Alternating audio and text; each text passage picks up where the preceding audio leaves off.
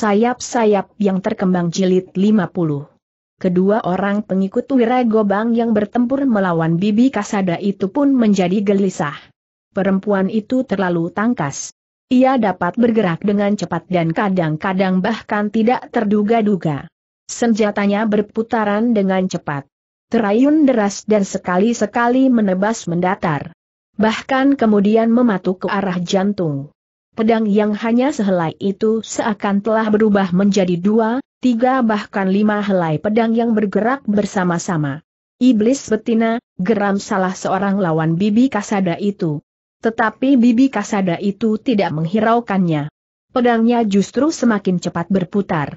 Ketika seorang lawannya terlambat menghindar, maka pedang yang menebas mendatar itu telah menyentuh lengannya, sehingga sebuah luka telah menganga. Orang yang terluka lengannya itu megumpat kasar.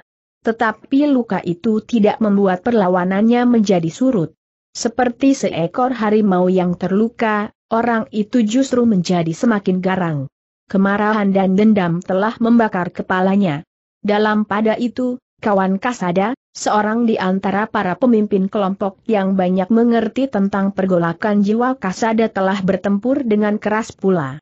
Untunglah bahwa kadang-kadang ia mendapat kesempatan untuk berlatih khusus dengan Kasada sehingga prajurit itu memiliki pengalaman yang lebih luas tentang ilmu kanuragan. Ia tidak saja memiliki kemampuan seorang prajurit dalam perang gelar. Tetapi ilmunya secara pribadi pun telah banyak meningkat. Di sisi lain, Wiragobang pun harus bertempur dengan mengerahkan kemampuannya. Bahkan ia merasa dirinya seorang yang berilmu tinggi, harus melihat kenyataan, bahwa perempuan itu pun memiliki ilmu yang tinggi. Bahkan ia tidak mengira sama sekali, bahwa ia akan bertempur dengan seorang yang memiliki landasan dasar ilmu yang sama. Keras dan bahkan kasar. Namun perkembangannya telah membuat ilmu itu seakan-akan terpisah, meskipun wataknya masih nampak.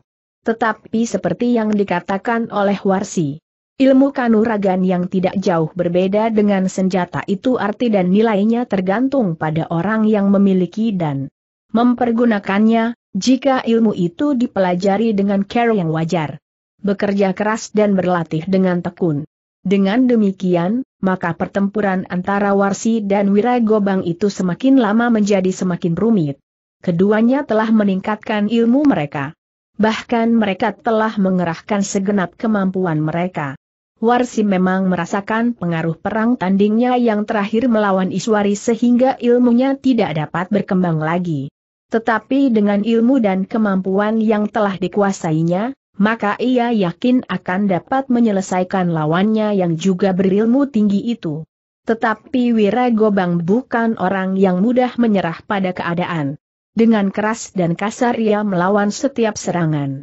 Benturan-benturan telah terjadi. Kedua-duanya melandasi kemampuan mereka dengan landasan yang memang keras dan kasar. Parang Wiragobang berputaran menggetarkan udara di sekitarnya. Namun rantai warsi pun bagaikan perisai yang tidak tertembus mengelilingi tubuhnya. Sentuhan-sentuhan antara rantai baja dengan parang Wiragobang telah memercikan bunga-bunga api yang membungai gelapnya malam. Tetapi ujung rantai warsi yang bagaikan kepala ular itu mampu bergerak lebih cepat dari ayunan parang Wiragobang. Selagi parang itu terayun menebas ke arah leher, Warsi sempat mengelak. Sambil merendah Warsi bergeser selangkah ke samping. Namun bersamaan dengan itu, ujung rantainya meluncur mematuk dengan cepatnya mengenai lambung Wiragobang. Wiragobang meloncat beberapa langkah surut. Perasaan pedih dan nyeri telah menyengat lambungnya. Bahkan lambungnya itu pun kemudian telah menitikan darah. Ketika tangannya meraba, maka cairan hangat itu telah tersentuh jari-jarinya. Wira Gobang mengumpat kasar. Tetapi ia masih belum kalah. Ia masih mampu mengatasi perasaan nyeri itu. Bahkan dengan demikian Wira Gobang itu justru menjadi semakin garang.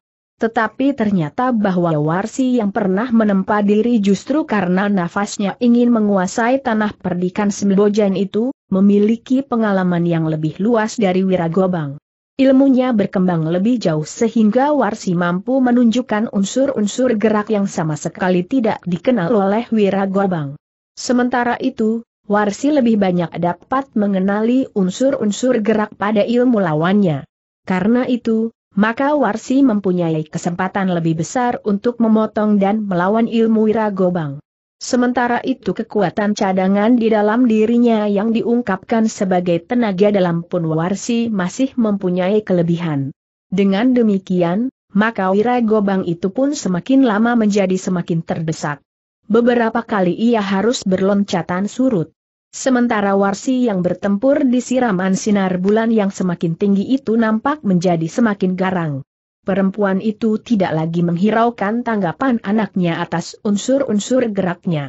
Ia tidak akan dapat mengatasi Wiragobang jika ia terlalu membatasi geraknya untuk menghindari kekerasan dan kekasaran yang nampak pada unsur-unsur geraknya itu. Tetapi Kasada memang tidak sempat memperhatikan bagaimana ibunya bertempur.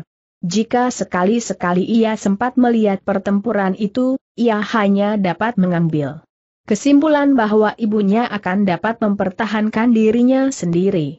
Meskipun demikian Kasada tidak dapat membiarkan ibunya bertempur seorang diri melawan orang berilmu tinggi itu. Bagaimanapun juga ibunya sudah menjadi semakin tua. Karena itu, maka Kasada berusaha untuk dengan secepatnya menyelesaikan kedua lawannya itu. Sehingga karena itu, maka ia pun telah mengerahkan segenap kemampuannya. Pertempuran pun berlangsung dengan kerasnya.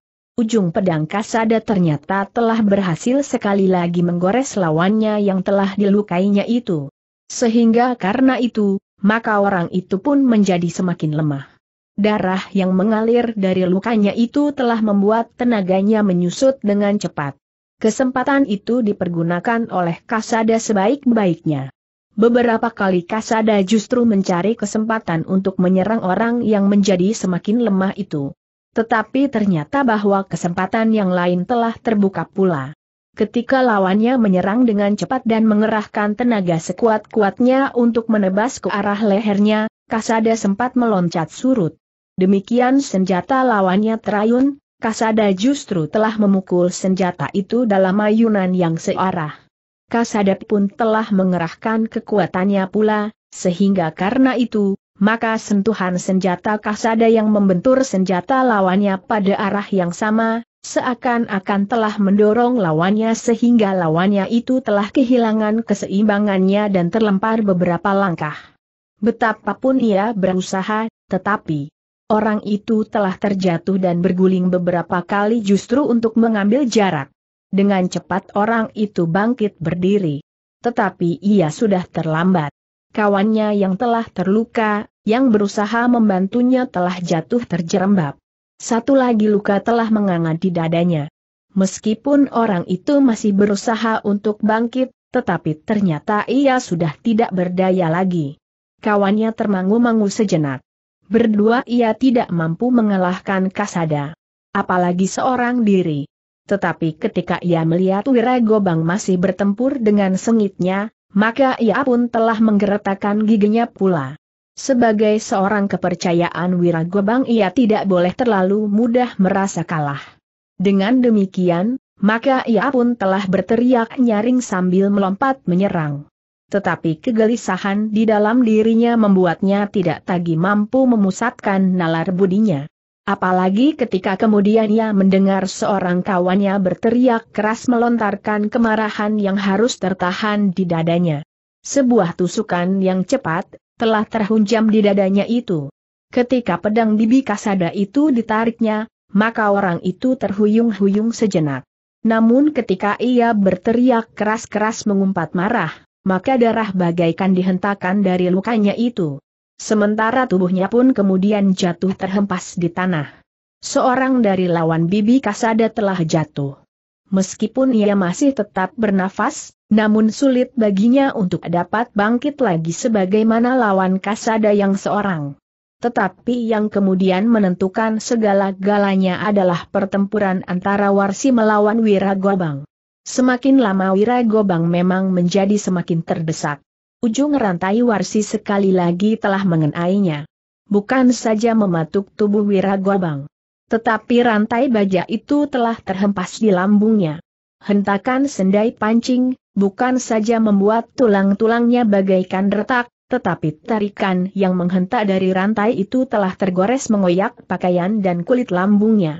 Wira Gobang berteriak keras menahan sakit yang menggigit lambungnya itu.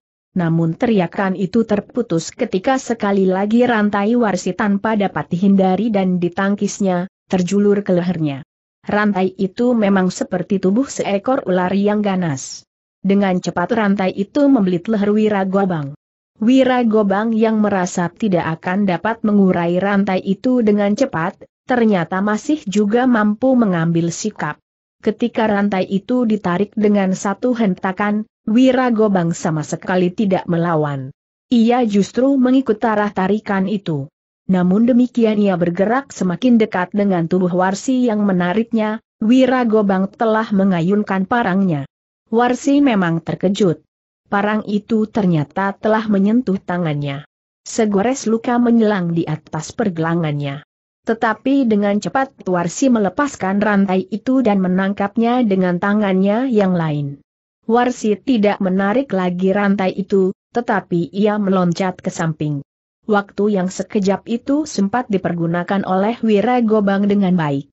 Sambil berputar ia melepas rantai yang melilit lehernya tetapi ia terlambat untuk menghindar ketika tangan Warsi terayun dengan derasnya. Jari-jarinya yang merapat terbuka telah menghantam tengkuk Wiragobang yang baru berhenti berputar. Tetapi tangan Warsi yang telah terluka di atas pergelangannya itu tidak melontarkan tenaganya sepenuhnya.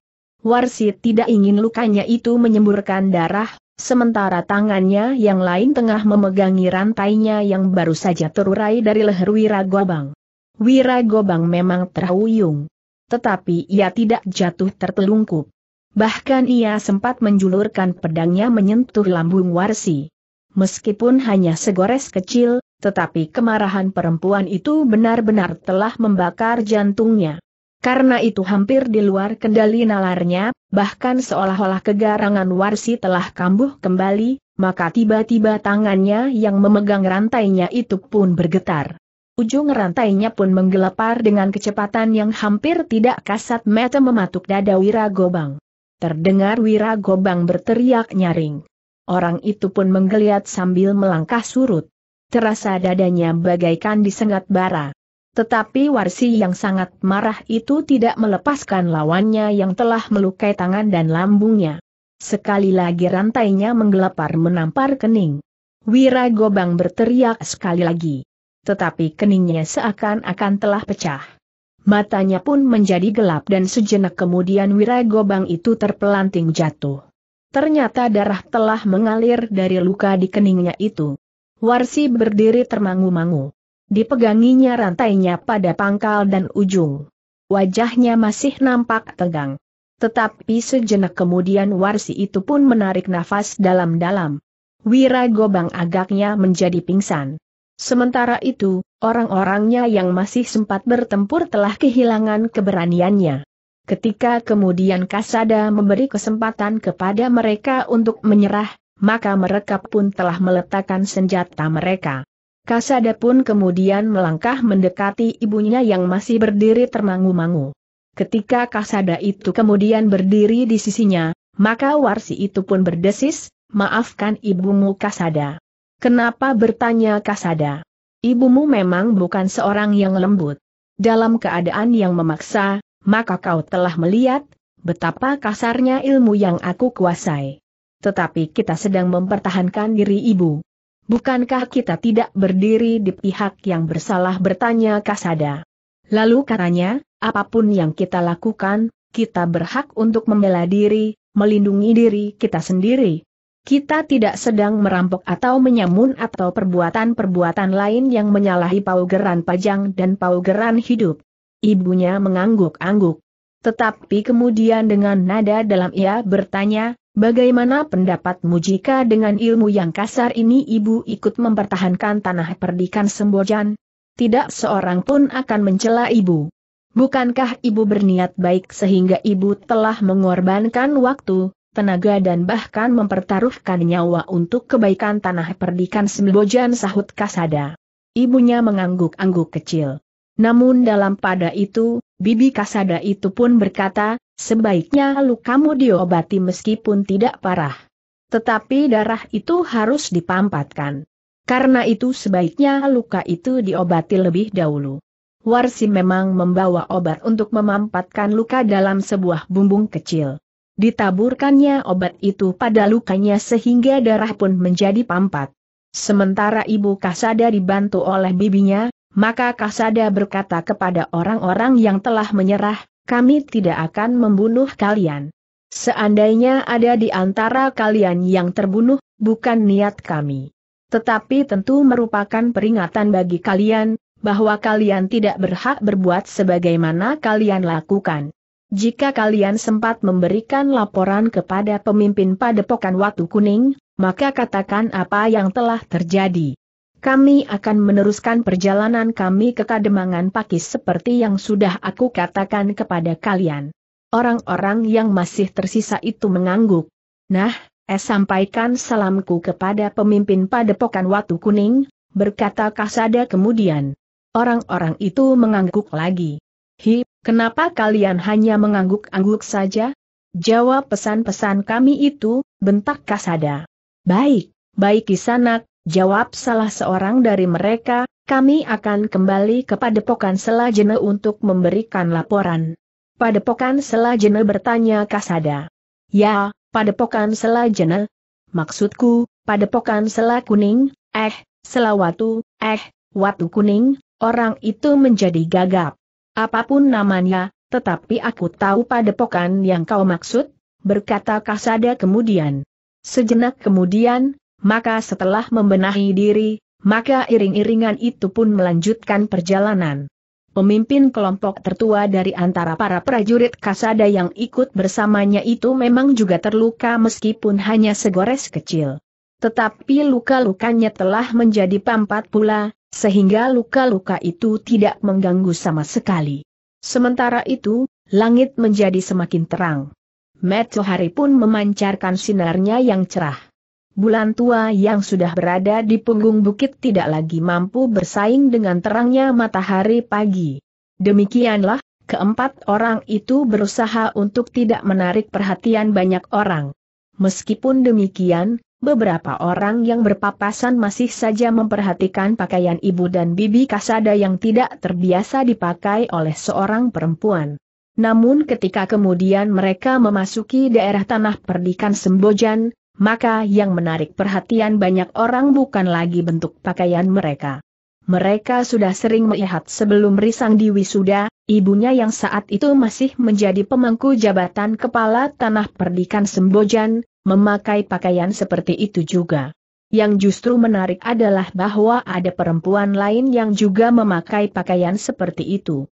Dalam pada itu, setelah menempuh perjalanan yang panjang maka di bawah teriknya matahari yang sudah melampaui titik puncaknya, Kasada bersama iring-iringan kecilnya telah berada di tanah perdikan Sembojan. Mereka semakin mendekati padukuhan induk. Meskipun kuda-kuda mereka nampak letih, tetapi karena jarak yang akan ditempuhnya tinggal beberapa puluh patok, maka mereka pun melanjutkan perjalanan mereka. Kedatangan mereka di tanah perdikan menoreh memang agak mengejutkan. Yang diharap dan ditunggu hanyalah Kasada dan barangkah seorang prajurit yang akan datang bersamanya. Namun ternyata Kasada datang bersama ibu dan bibinya Ibu Risang pun menerima mereka dengan gembira. Demikian pula Risang. Apalagi ketika kemudian Kasada menyatakan bahwa ia telah mengajak ibu dan bibinya setelah ia mendengar dari Kirangga Kaloka Praja, apa yang terjadi di tanah perdikan Sembojan ini. Bahkan Kasada pun sempat menceritakan apa yang telah terjadi di perjalanan serta menyampaikan pesan Pangeran Gagak Baning serta apa yang diketahui pula oleh ibu Kasada. Jadi, yang disebut padepokan waktu kuning itu hanyalah satu tempat yang menjadi sarang orang-orang yang sebagian besar, adalah orang-orang yang tidak terpuji.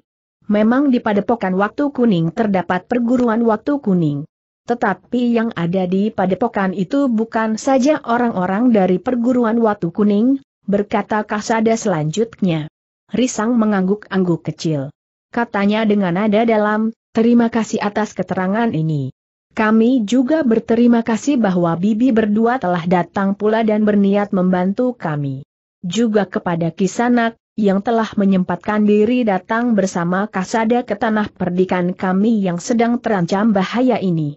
Saya sekedar menjalankan tugas, berkata pemimpin kelompok yang datang bersama Kasada itu.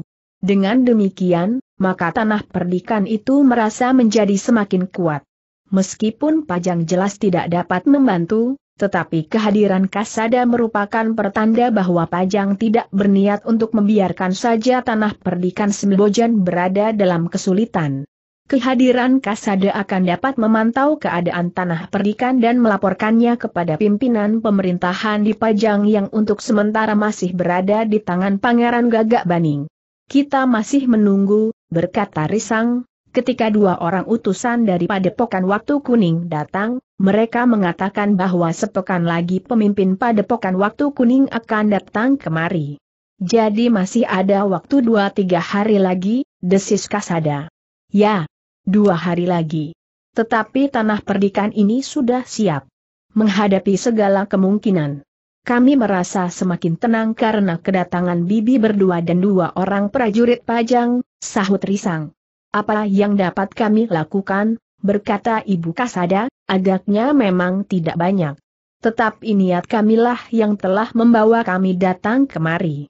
Itulah yang membesarkan hati kami, jawab Ibu Risang, dan hal itu tentu akan sangat besar pengaruhnya.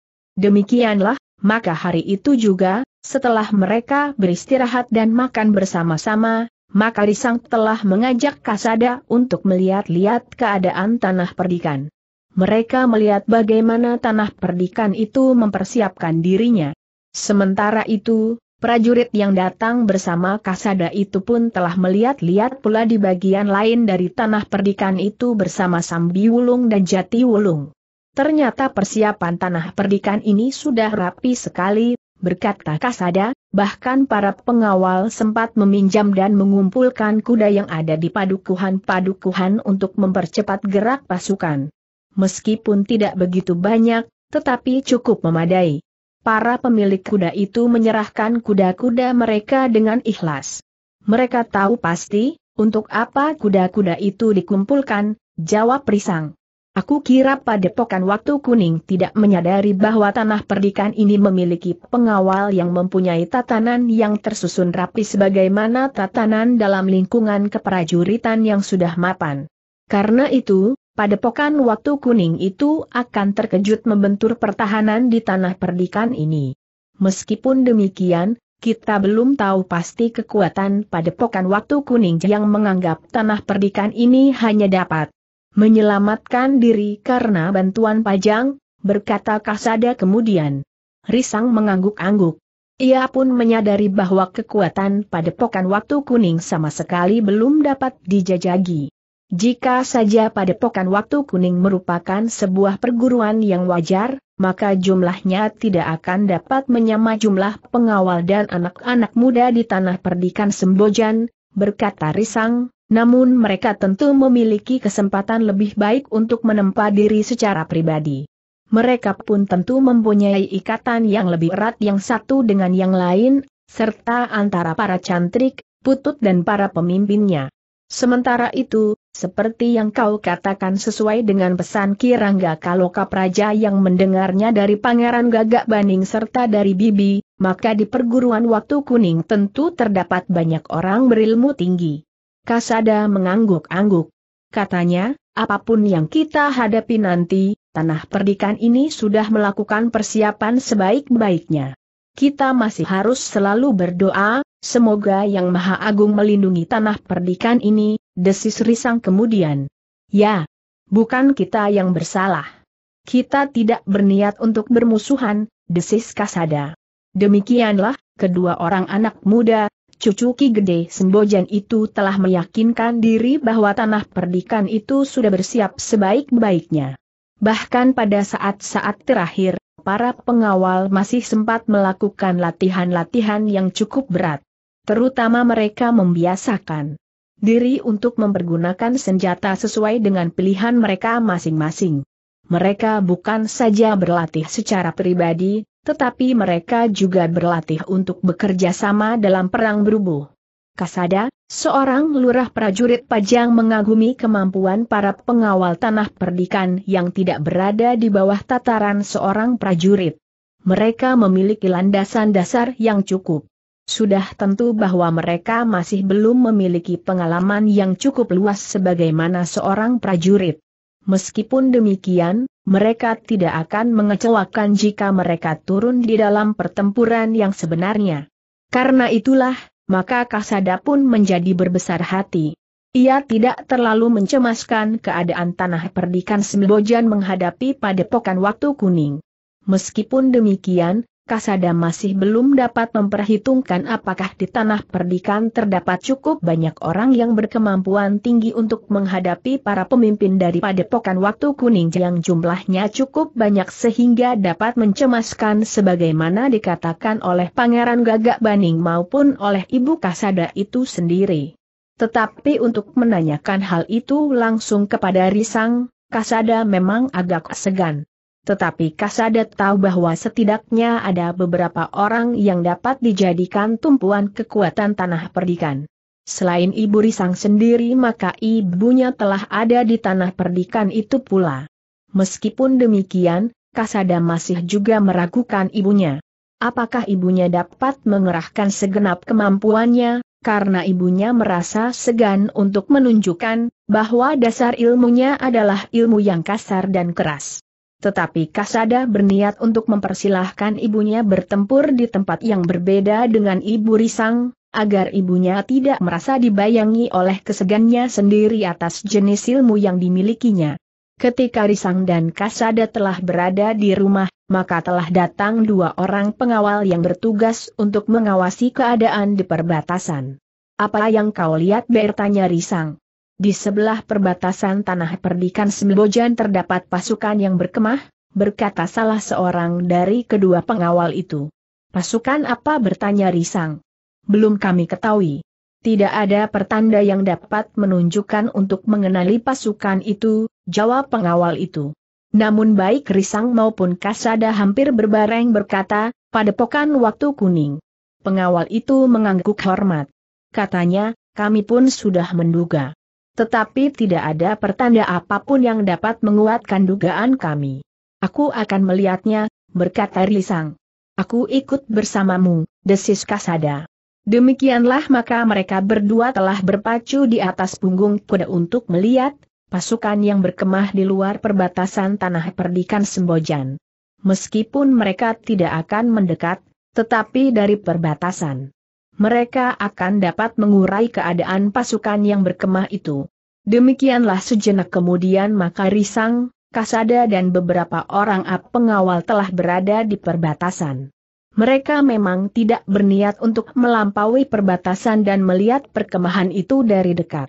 Sebenarnya lah, ketika mereka berada di perbatasan yang menghadap padang perdu yang agak luas, maka mereka memang melihat pasukan yang berkemah di padang perdu itu. Didirikannya gubuk-gubuk kecil untuk beberapa kepentingan.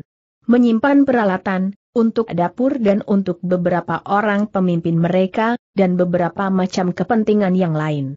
Juga untuk berteduh sementara orang di dalam pasukan itu. Sedangkan yang lain tersebar di padang perdu itu. Mereka duduk-duduk dan bahkan ada yang berbaring di bawah pohon-pohon perdu. Kasada yang melihat perkemahan itu dari kejauhan menarik nafas dalam-dalam. Katanya, sebuah pasukan yang kuat. Aku tidak yakin bahwa mereka benar-benar terdiri dari sebuah padepokan saja. Meskipun padepokan waktu kuning merupakan sarang dari banyak kelompok, tetapi yang nampak itu adalah satu kekuatan yang besar. Risang mengangguk-angguk. Katanya, tanah perdikan ini berada dalam keadaan bahaya yang sebenarnya.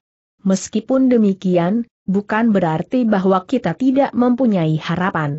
Nampaknya kademangan pakis yang memiliki padang perdu yang dipergunakan untuk perkemahan itu tidak dapat berbuat apa-apa, desis Kasada kemudian.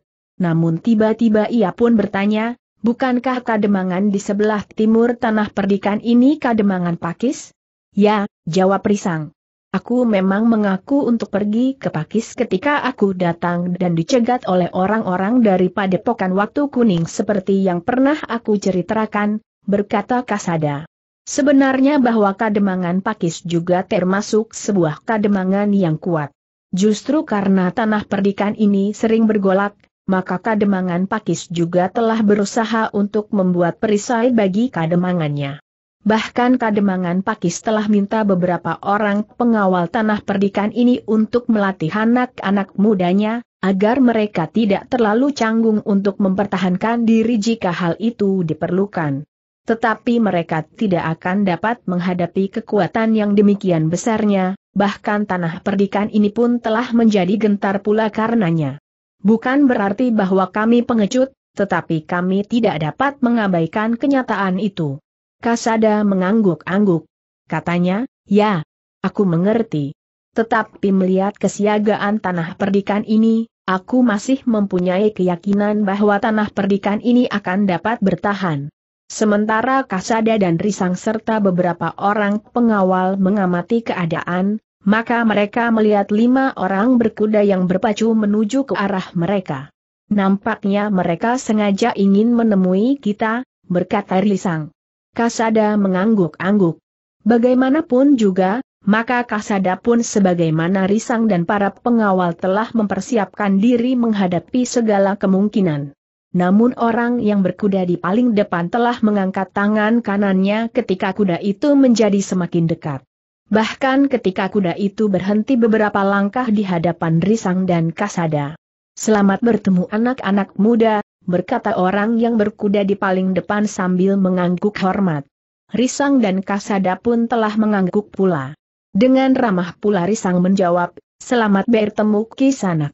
Kami, penghuni tanah perdikan ini menjadi sangat teratrik atas kehadiran Kisanak dengan pasukan yang demikian kuatnya di Kademangan Pakis.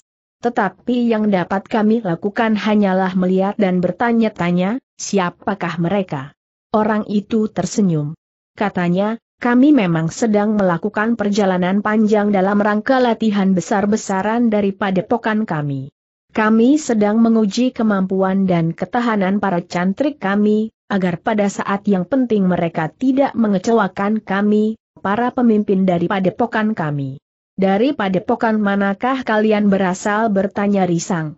Kami datang dari padepokan Watu Kuning, jawab orang itu. Watu Kuning, risang mengulang, jadi kalian dengan pasukan yang besar itu menempuh satu perjalanan panjang untuk melakukan latihan? Ya. Kami sedang menjelajahi daerah selatan ini. Sekarang kami berhenti dan berkemah di daerah Kademangan Pakis. Nanti kami akan meneruskan perjalanan ke barat. Nanti bertanya Risang. Maksudku, setelah kami beristirahat dua tiga hari di sini, jawab orang itu. Apakah kau sudah mendapat izin dari Ki Demang di Pakis bertanya Kasada kemudian. Kami tidak merasa perlu untuk minta izin. Ternyata Ki Demang Pakis orang yang baik hati. Ia sama sekali tidak menyatakan keberatannya. Sampai saat ini tidak ada utusannya yang menemui kami dan menolak kehadiran kami, orang itu berhenti sejenak, lalu, kami berharap bahwa daerah yang lain pun berbuat demikian. Kaukah pemimpin pasukan itu bertanya Kasada pula. Aku salah seorang di antara para pemimpin itu. Tetapi aku bukan pemimpin tertinggi dari padepokan waktu kuning. Siapakah pemimpin tertinggi padepokanmu bertanya Risang meskipun dengan agak ragu.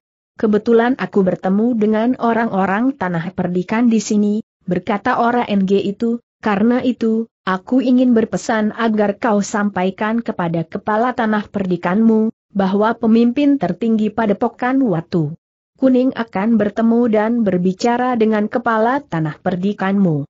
Apakah kau pernah bertemu dengan kepala tanah perdikan Sembojan bertanya Kasada.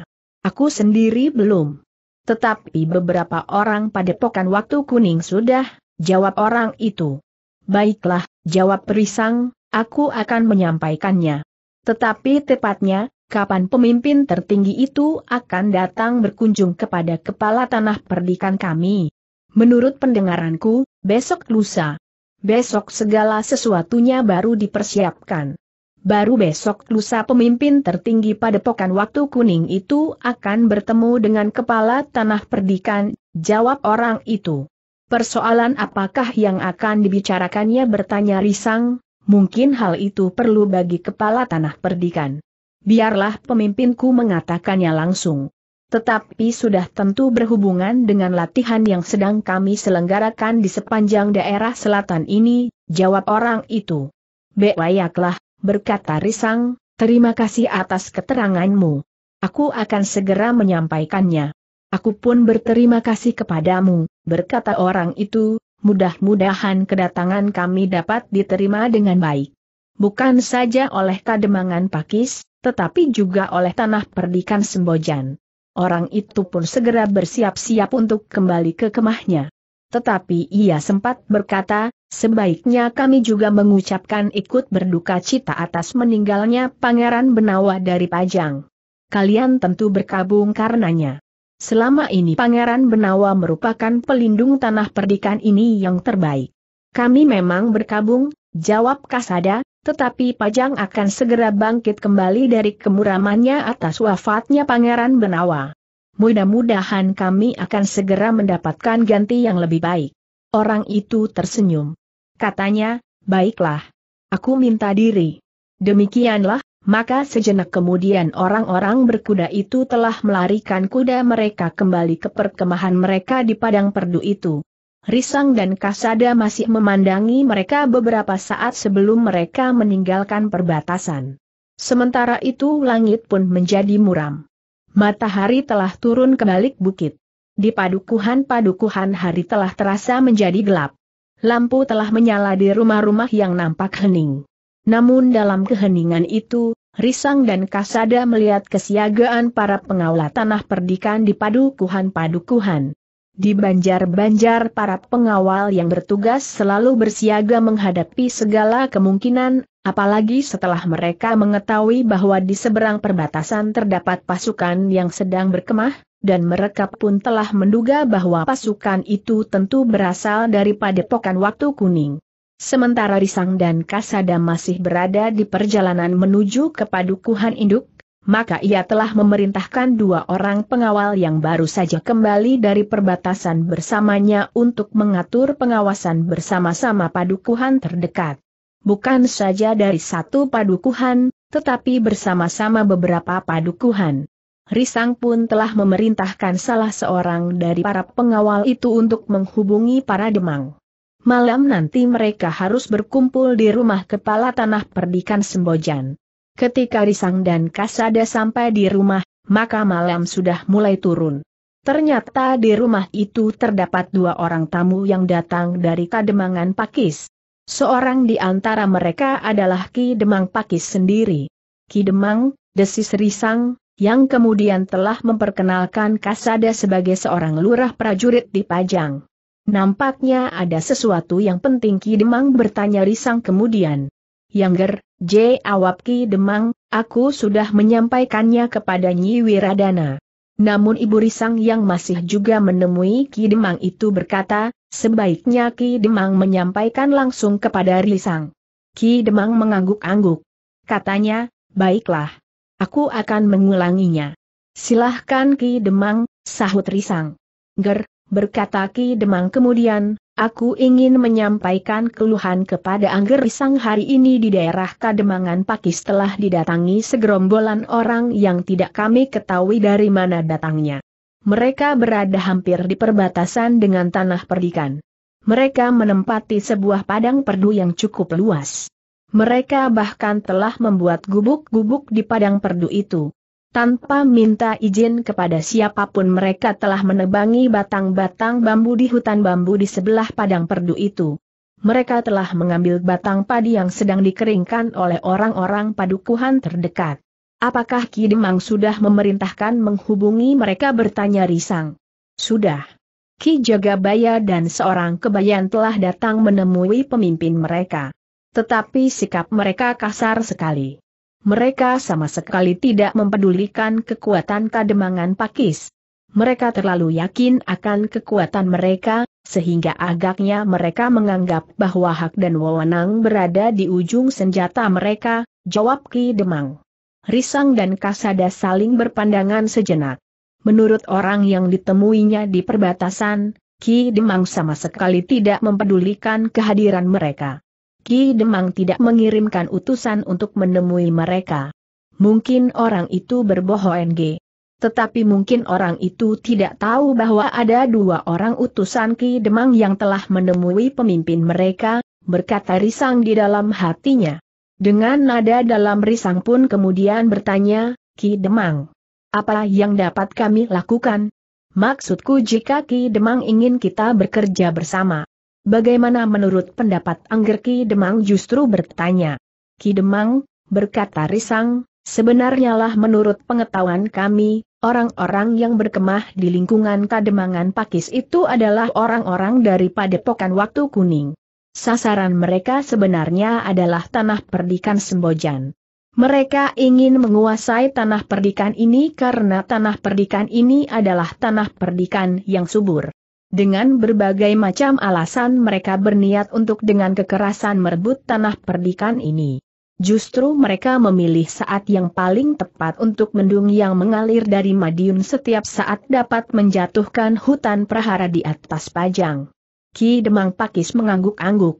Dengan suara yang bergetar ia berdesis, jadi mereka akan menyerang tanah perdikan ini dan mempergunakan Pakis sebagai landasan serangannya.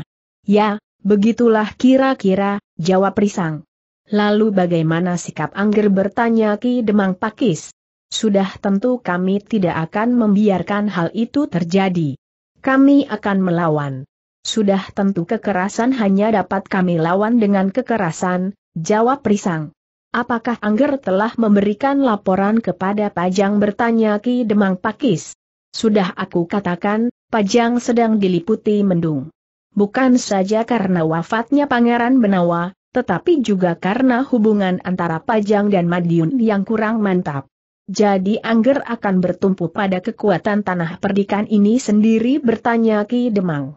Ya, jawab Risang.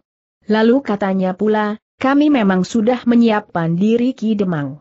Apalagi kami tidak mempunyai pilihan lain. Kami akan memilih mempertahankan diri daripada harus menyerahkan tanah perdikan ini. Ki Demang mengangguk-angguk. Namun tiba-tiba saja ia mengangkat wajahnya sambil berkata, Sejauh dapat kami lakukan, kami akan membantu, Ger. Meskipun kekuatan kami jauh lebih kecil dari kekuatan yang ada di tanah perdikan Sembojan, namun kami juga merasa tersinggung atas kehadiran orang-orang waktu kuning. Apalagi sikapnya yang sama sekali tidak menghiraukan hak kami atas tanah kami sendiri. Kecuali itu, kami pun menyadari, Seandainya tanah perdikan Sembojan benar-benar dikuasai oleh padepokan Waktu Kuning, maka lingkungan ini pun benar-benar akan tercemar. Orang-orang Waktu Kuning akan berbuat sewenang-wenang. Bahkan kademangan-kademangan yang lain yang berada di luar wilayah tanah perdikan Sembojan. Kidemang, berkata Risang, sebenarnya aku tidak ingin menyeret kademangan-kademangan kecuali dalam lingkungan tanah perdikan, ke dalam persoalan ini, karena bagaimanapun juga akan dapat terjadi kekerasan yang akan membawa korban. Bukankah itu wajar, sahut Ki Demang Pakis, korban adalah pupuk bagi kesejahteraan hidup kami. Korban bukan berarti kesia-siaan. Pengorbanan itu akan sangat berharga bagi kami. Jika demikian, kami mengucapkan terima kasih Ki Demang. Tetapi Ki Demang harus memperhitungkan segala segi dari pengorbanan ini, berkata Risang kemudian. Kami menyadari Nger. Dan pengorbanan ini sebenarnya juga mengandung landasan perhitungan bagi kepentingan diri sendiri. Maksudku bagi kademangan Pakis. Bahkan aku akan berbicara dengan para demang di sekitar Pakis yang berhubungan langsung dengan tanah perdikan yang tentu mempunyai kepentingan yang sama seperti kepentingan kademangan Pakis, berkata Ki Demang Pakis. Tetapi Ki Demang harus menyadari bahwa orang-orang waktu kuning adalah orang-orang yang memiliki pengalaman yang luas. Seandainya Ki Demang Pakis atau kademangan lain yang ingin membantu tanah perdikan, maka harus dipilih para pengawal yang sudah memiliki landasan kemampuan dalam olah kanuragan dan lebih-lebih kemampuan olah senjata. Mereka akan berhadapan dengan orang-orang yang terlatih baik, Justru karena mereka adalah murid-murid sebuah perguruan. Ki Demang mengangguk-angguk. Katanya, bukankah para pengawal Kademangan, khususnya Kademangan Pakis dan sekitarnya telah pernah mendapat tuntunan dari para pengawal tanah perdikan ini pada saat-saat yang gawat. Aku yakin, bahwa mereka masih tetap memiliki gejolak jiwa jantan sebagai pagar tanah kelahiran. Baiklah Ki Demang, berkata Risang, masih ada waktu dua tiga hari. Biarlah anak-anak muda itu kembali meraba hulu senjata mereka dan membiasakan lagi bagaimana mereka harus menggerakkannya. Dengan demikian, mereka akan kembali mengenali watak dan tabiat senjata-senjata mereka serta beberapa hal yang berhubungan dengan medaan pertempuran yang sebenarnya. Aku akan memerintahkan agar mereka menentukan siapakah yang akan ikut serta memasuki medan dan siapakah yang akan menjaga kampung halaman, berkata Ki Demang kemudian. Namun ketika Ki Demang kemudian minta diri, Risang telah menahannya. Dimintanya Ki Demang ikut dalam pertemuan antara para Demang di tanah perdikan Sembojan. Ternyata dalam pertemuan itu, telah disusun kekuatan yang ada di tanah perdikan menoreh serta kesediaan Ki Demang Pakis untuk membantu. Bahkan Ki Demang Pakis telah menyatakan kesediaannya untuk menghubungi para Demang di sekitar tanah perdikan Sembojan. Risang memang tidak berkeberatan. Tetapi ia tetap bertumpu pada kekuatan yang ada di tanah perdikan Sembojan itu sendiri. Sehingga karena itu, maka perintah Risang kepada para Demang adalah, bahwa besok, Segala sesuatu harus sudah siap. Setiap saat mereka harus dapat bergerak bersama para pengawal dari setiap padukuhan. Para pengawas akan memberikan isyarat, perbatasan yang manakah yang menjadi paling rawan. Sementara itu, semua kuda yang ada harus dikerahkan untuk mempercepat gerak para pengawal dari satu padukuhan ke padukuhan yang lain. Ternyata para demang, termasuk Ki Demang Pakis tidak menunggu sampai esok. Malam itu juga langkah-langkah yang harus diambil oleh para demang itu pun telah mulai dilaksanakan. Para demang di tanah perdikan Sembojan yang memang sudah mempersiapkan diri sejak beberapa hari sebelumnya tinggal menyalurkan perintah-perintah yang datang kemudian lewat jalur yang sudah dipersiapkan oleh para bekal di padukuhan-padukuhan. Sementara segala persiapan dilakukan, maka tanah perdikan Sembojan telah menyusun petugas khusus untuk mengawasi setiap gerak orang-orang yang ada di perkemahan. Jika keadaan menjadi berbahaya mereka harus segera memberikan laporan. Tetapi di hari berikutnya, tidak ada tanda-tanda yang menunjukkan bahwa akan ada gerakan kekuatan langsung yang ditujukan kepada tanah perdikan Sembojan. Yang mereka lakukan adalah sekedar berlatih di antara beberapa kelompok, sedang yang lain masih saja menebar di padang perdu itu. Tetapi ada di antara orang-orang yang berkemah di padang perdu itu justru memasuki hutan di lereng bukit di seberang padang perdu dengan alat-alat berburu. Lembing dan busur serta anak panah. Agaknya mereka akan mencari binatang buruan untuk menambah perbekalan yang sudah mereka bawa. Para pengawal yang bertugas mengawasi perkemahan itu dari kejauhan melihat, Beberapa kelompok di antara mereka telah berlatih dengan bersungguh-sungguh. Nampaknya mereka sengaja menunjukkan betapa mereka mampu melakukan latihan yang berlandaskan pada ilmu yang tinggi, sehingga agaknya mereka ingin mengatakan bahwa dengan mudah mereka akan dapat menembus pertahanan tanah perdikan Sembojan seandainya benar-benar terjadi pertempuran di antara mereka. Namun para pengawal tanah perdikan pun terdiri dari anak-anak muda yang telah berlatih. Mereka pun memiliki pengalaman yang cukup untuk menghadapi kekuatan yang ada di padang perdu itu. Sementara itu, Risang dan Kasada masih juga melihat-lihat seluruh kekuatan yang ada di tanah perdikan. Kesediaan Kademangan Pakis untuk membantu akan sangat berarti bagi tanah perdikan Sembojan. Kasada yang melihat sendiri kesiagaan para pengawal berkata kepada Risang dengan nada dalam, kau tidak usah cemas. Meskipun Pajang tidak dapat turun membantu, agaknya tanah perdikan ini bukan sasaran yang lunak bagi padepokan waktu kuning. Aku sebagai prajurit pernah mengalami benturan kekuatan yang ada di tanah perdikan ini. Meskipun saat itu tanah perdikan ini mendapat bantuan dari Jepang, tetapi kekuatan dasar tanah perdikan ini dapat dipercaya. Risang mengangguk-angguk. Katanya, mudah-mudahan kami dapat menyelamatkan tanah perdikan ini. Ketika matahari mulai turun, maka berdua mereka kembali pulang. Ternyata di rumah itu telah menunggu tiga orang demang yang memimpin tiga kademangan di sekitar tanah perdikan Sembojan, termasuk Ki Demang Pakis. Seperti Ki Demang Pakis mereka menyatakan kesediaan mereka untuk membantu. Risang menarik nafas dalam-dalam. Dengan nada dalam ia berkata, aku mengucapkan terima kasih yang sebesar-besarnya. Seperti yang pernah aku katakan kepada Ki Demang Pakis, sebenarnya kami tidak ingin menyeret tetangga-tetangga kami dalam kesulitan. Karena yang akan terjadi adalah kekerasan. Tetapi jawab para Demang itu tidak berbeda dengan jawab Ki Demang Pakis. Mereka merasa bahwa mereka akan ikut mengalami kesulitan jika benar pada pokan waktu kuning dapat merebut tanah perdikan dengan kekerasan. Selama ini kami tidak dapat berbuat sesuatu yang dapat meringankan beban tanah perdikan ini. Jika terjadi benturan kekerasan, kami selalu berusaha membatasi diri dan berlindung di balik garis perbatasan, seolah-olah kami sama sekali tidak bersangkut paut dengan segala peristiwa yang terjadi di tanah perdikan itu. Tetapi ternyata kami menyadari kemudian, bahwa kami tidak dapat berbuat demikian untuk seterusnya. Apalagi sekarang kami merasakan, betapa sakitnya harga diri kami diinjak-injak oleh orang asing. Kehadiran orang-orang waktu kuning di Kademangan Pakis adalah satu pertanda bahwa mereka sama sekali tidak menghargai orang lain.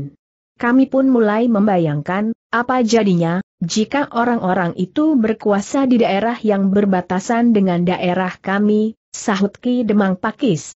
Baiklah, berkata Risang, Sekali lagi kami hanya dapat mengucapkan terima kasih.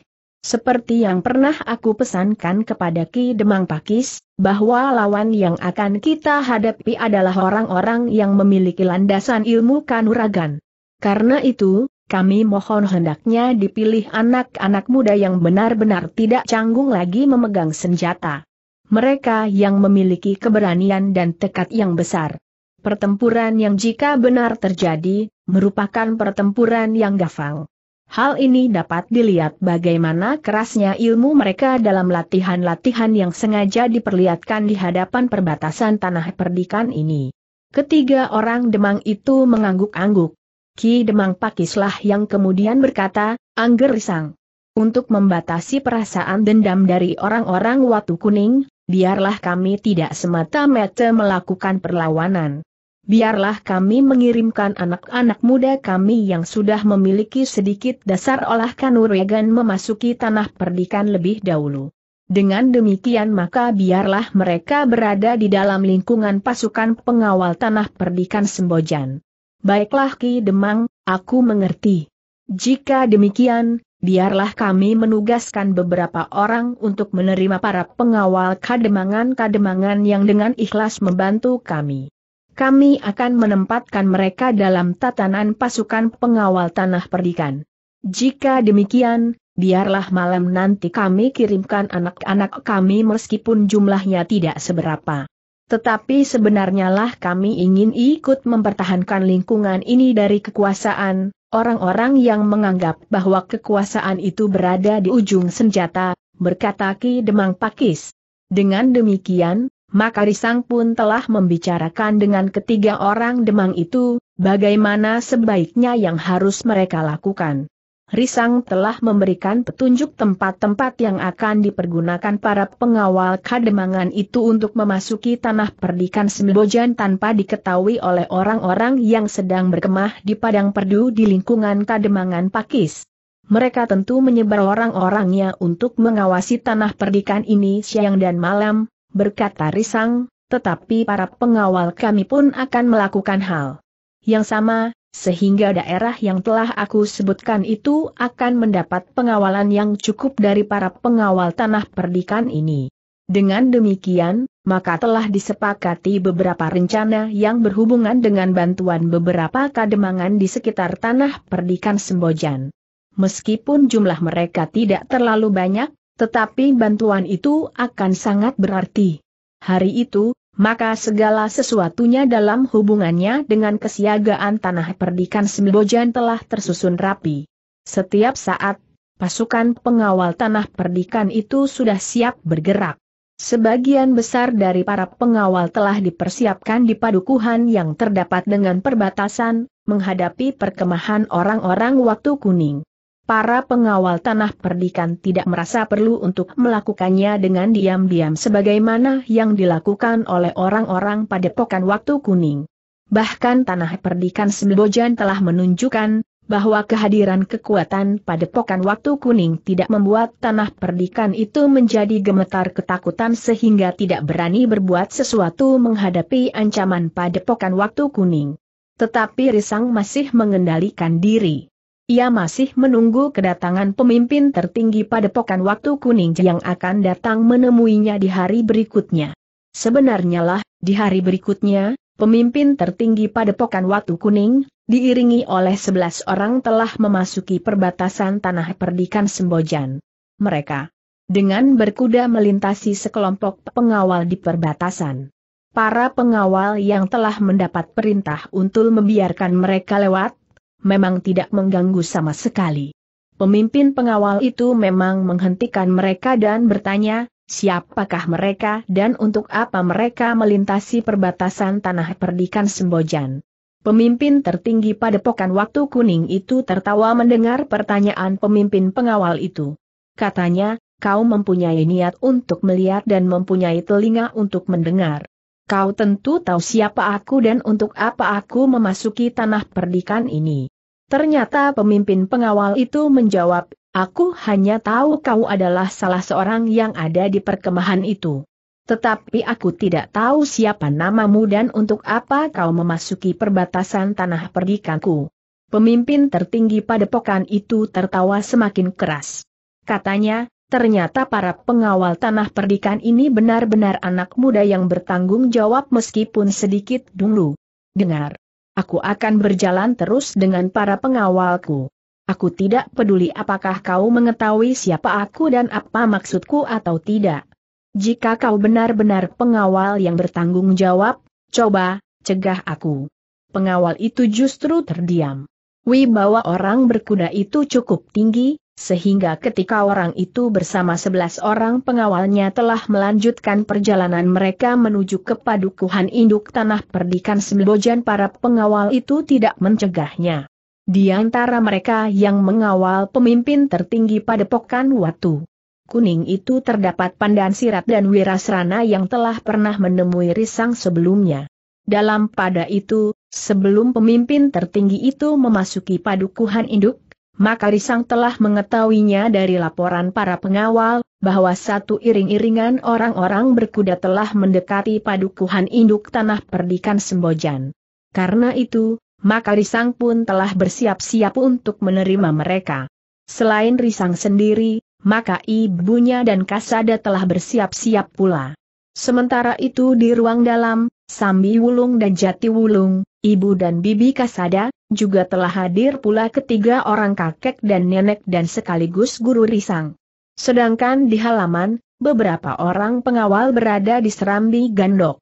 Di antara mereka terdapat gandar yang telah bersiap pula menghadapi segala kemungkinan demikianlah, beberapa saat kemudian, maka sebuah iring-iringan orang berkuda telah menasuki halaman rumah kepala tanah perdikan Sembojan. Ketika orang-orang itu kemudian meloncat turun dari punggung kuda, maka Risang dan Kasada telah turun dari tangga pendapa untuk menyongsongnya. Berbeda dengan sikapnya di perbatasan, maka pemimpin tertinggi pada pokan waktu kuning itu pun berlaku sopan. Sambil tersenyum dan mengangguk hormat ia pun berkata, apakah aku berhadapan dengan kepala tanah perdikan yang masih muda itu? Ya Kisanak, jawab Perisang, marilah, silahkan naik. Kisanak tentu pemimpin tertinggi pada pokan waktu kuning yang sedang berkemah di telatah kademangan Pakis. Berhadapan dengan perbatasan tanah perdikan Sembojan. Tepat anak muda, jawab orang itu, aku adalah orang yang dituakan di padepokan dan perguruan waktu kuning. Marilah, silahkan naik, Risang sekali lagi mempersilahkan tamu-tamunya. Sejenak kemudian, maka pemimpin tertinggi padepokan waktu kuning serta beberapa orang pembantu dekatnya telah naik dan duduk di pendapa, sementara beberapa orang pengawalnya menebar di halaman. Setelah saling mengucapkan selamat, maka pemimpin tertinggi padepokan waktu kuning itu pun berkata, kami memenuhi janji kami untuk datang menemui kepala tanah perdikan Sembojan yang belum lama ini di Syiwuda. Terima kasih atas kunjungan ini, Kisanak, Jawab Perisang, tetapi apakah kami boleh mengetahui nama atau sebutan Kisanak agar kami tidak menjadi canggung karenanya? Tentu, tentu, sahut orang itu dengan serta-merta, orang memanggil Ki Gede Sela Kuning atau ada yang menyebut Ki Gede Watu Kuning. Ya manakah yang sebaiknya kami pakai bertanya risang? Kedua-duanya sama saja. Tetapi lebih banyak orang memanggil Ki Gede Watu Kuning, jawab orang itu. Baiklah Ki Gede Watu Kuning, berkata Risang kemudian, Ki Gede dapat memanggilku Risang. Namaku. Memang Risang. Ini ibuku, Nyi Wiradana dan ini adalah adikku, Kasada. Orang itu mengangguk hormat sambil berkata, senang sekali aku dapat berkenalan dengan Nyi Wiradana dan Angger Kasada. Nah Ki Gede, berkata Risang kemudian, kedatangan Ki Gede memang sudah kami ketahui sebelumnya. Beberapa orang pernah mengatakannya. Ki Pandani Sirat dan Ki Wirasrana yang pernah datang kemari juga sudah mengatakannya. Dua hari yang lalu, di perbatasan ada juga beberapa orang yang menemui kami dan mengatakan bahwa Ki Gede akan datang kemari. Dan aku memang memerlukan datang ger, berkata Ki Gede Watu Kuning. Apakah kedatangan Ki Gede sekedar ingin memperkenalkan diri atau mempunyai kepentingan tertentu dengan kami, orang-orang tanah perdikan Sembojan? Ki Gede Watu Kuning berpaling kepada Pandan Sirat yang duduk dekat Wirasrana. Dengan nada rendah ia kemudian menjawab, serba sedikit agaknya Pandan Sirat dan Wirasrana telah mengatakan, bahwa ada sedikit persoalan yang akan kami sampaikan atas nama Padepokan Waktu Kuning. Tetapi persoalan itu bukan persoalan yang penting dan hanya sekedar bahan pembicaraan saja. Risang menarik nafas dalam-dalam. Sambil mengangguk-angguk kecil ia berkata, maksud Ki Gede, tentang kedudukan tanah perdikan ini? Ya, begitulah. Tetapi Angger jangan menganggap bahwa persoalan ini sangat penting. Bagaiku persahabatan dan persaudaraan di antara sesama merupakan hal yang jauh lebih penting dari kepentingan-kepentingan yang lain. Karena itu, maka kedatanganku ini adalah satu usaha untuk lebih memperluas persahabatan itu. Tidak lebih nger. Jika ada persoalan-persoalan lain itu adalah sekedar pembicaraan sambilan saja. Sokur laki gede, risang mengangguk-angguk. Meskipun demikian, ia tetap berhati-hati menghadapi sikap Ki Gedewatu Kuning yang nampaknya sangat bersahabat itu. Barangkali kami hanya ingin sekedar memperingatkan Ger, bahwa persaudaraan kami akan dapat menjadi lebih erat, karena kami memang berasal dari tanah kelahiran yang sama. Risang mengerutkan keningnya. Dengan agak ragu ia bertanya, maksud Ki Gede. Ya, kita memang lahir di tempat yang sama. Tanah perdikan ini lahir di atas bumi Sembojan, sedang padepokan waktu kuning juga lahir di atas bumi Sembojan. Nah, bukankah kami benar-benar bersaudara? Jika Angger bertanya siapakah yang lebih tua di antara kita, maka tentu aku akan menjawab, bahwa padepokan waktu kuninglah yang pantas disebut saudara tua, berkata Ki Gedewatu Kuning kemudian. Risang yang sudah mengetahui arah pembicaraan itu pun menjawab, Terima kasih atas keterangan ini Ki Gede. Kami sama sekali tidak berkeberatan dengan pernyataan Ki Gede, bahwa kami lahir di atas bumi yang sama, bumi Sembojan. Terima kasih Nger, Ki Gede itu tersenyum, aku tidak mengira bahwa sikap Angger demikian longgar terhadap pernyataan kami tentang bumi Sembojan. Aku berpendirian sama seperti Ki Gede Watu Kuning, jawab Perisang, persaudaraan dan persahabatan merupakan hal yang yang jauh lebih penting dari kepentingan-kepentingan yang lain. Ki Gedewatu Kuning mengerutkan dahinya. Namun ia pun kemudian tertawa panjang. Katanya, bagus nger. Ternyata kau adalah anak muda yang cerdas dan tangkas berpikir. Risang pun tersenyum. Katanya, terima kasih atas pujian itu Ki Gede. Nah, dengan demikian, agaknya pembicaraan kita selanjutnya tidak akan mengalami kesulitan. Kami, Padepokan Waktu Kuning ingin mempererat hubungan kita sebagai saudara yang lahir di bumi yang sama dengan ikatan yang lebih nyatangger, berkata Ki Gede kemudian. Maksud Ki Gede bertanya risang. Kami ingin mengembalikan kedudukan Sembojan sebagaimana sebelum kami harus terbelah.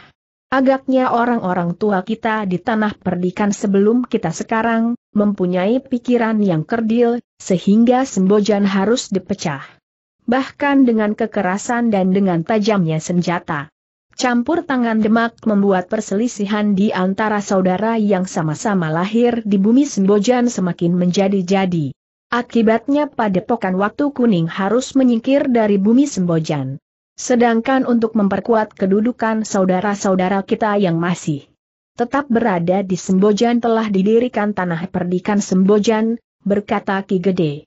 Risang mengangguk-angguk kecil. Agaknya pembicaraan Ki Gedewatu Kuning telah mengarah kepada maksudnya yang sebenarnya. Dengan nada rendah Risang berkata, biarlah cerita itu tetap merupakan cerita Ki Gede marilah, persahabatan dan persaudaraan kita, kita landasi dengan apa yang ada sekarang. Wajah Ki Gede menegang sejenak.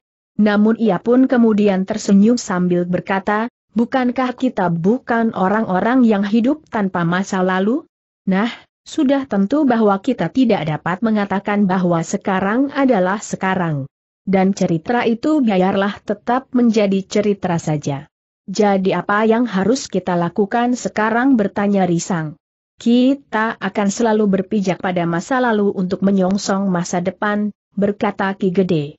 Tetapi kita tidak dapat ingkar akan kenyataan kita sekarang, jawab Risang, sebagaimana Ki Gede ketahui, kenyataan yang ada sekarang, kita telah terpisah oleh alasan dan sebab apa pun juga. Padepokan waktu kuning sebagai satu kenyataan memang ada dan berdiri tegak sebagai sebuah perguruan yang besar dan berwibawa. Namun di samping itu tanah perdikan Semojan yang ada sekarang ini pun adalah sebuah tanah perdikan yang ada dan sah pula adanya berdasarkan beberapa bukti dan kenyataan. Ki Gedewatu Kuning mengangguk-angguk. Katanya, Aku mengerti nger. Tetapi sebagaimana perubahan itu pernah terjadi, maka kita sekarang pun berhak membuat perubahan-perubahan bahkan sampai yang mendasar sekalipun tentang kedudukan bumi Sembojan. Kita dapat berbuat sesuai dengan keinginan kita. Bukankah kita terikat dalam persaudaraan dan persahabatan sehingga kita akan dapat membuat perubahan-perubahan tanpa menimbulkan masalah? Yaki gede, jawab Risang. Namun kemudian katanya, tetapi sebagai saudara dan sahabat yang baik, kita pun dapat saling bersetuju untuk tidak mengadakan perubahan apa-apa tentang kedudukan kita masing-masing. Maksudku, padepokan waktu kuning yang besar dan berwibawa sebagaimana adanya sekarang dan tanah perdikan Sembojan yang sudah mendapat kekancingan dari Demak dan kemudian Pajang.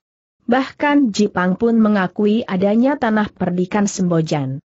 Terakhir aku menerima ucapan selamat dari Kang Jeng Panembahan Mas di Madiun lewat utusannya yang datang pada saat aku di wisuda.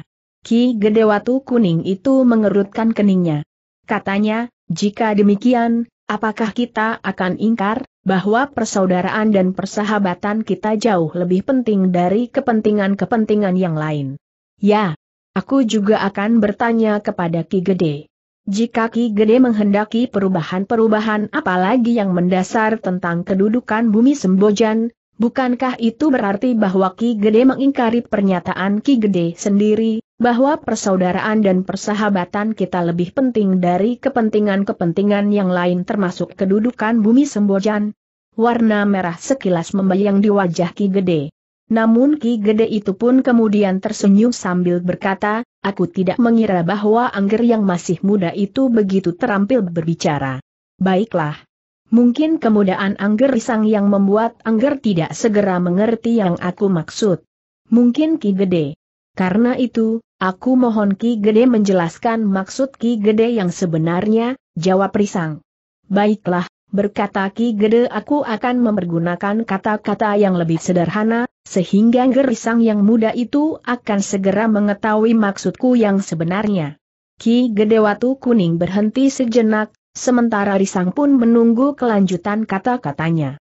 Baru setelah menarik nafas dalam-dalam, Ki Gede itu berkata, Angger. Sebenarnya lah bahwa aku ingin menyatukan kembali bumi Sembojan ini.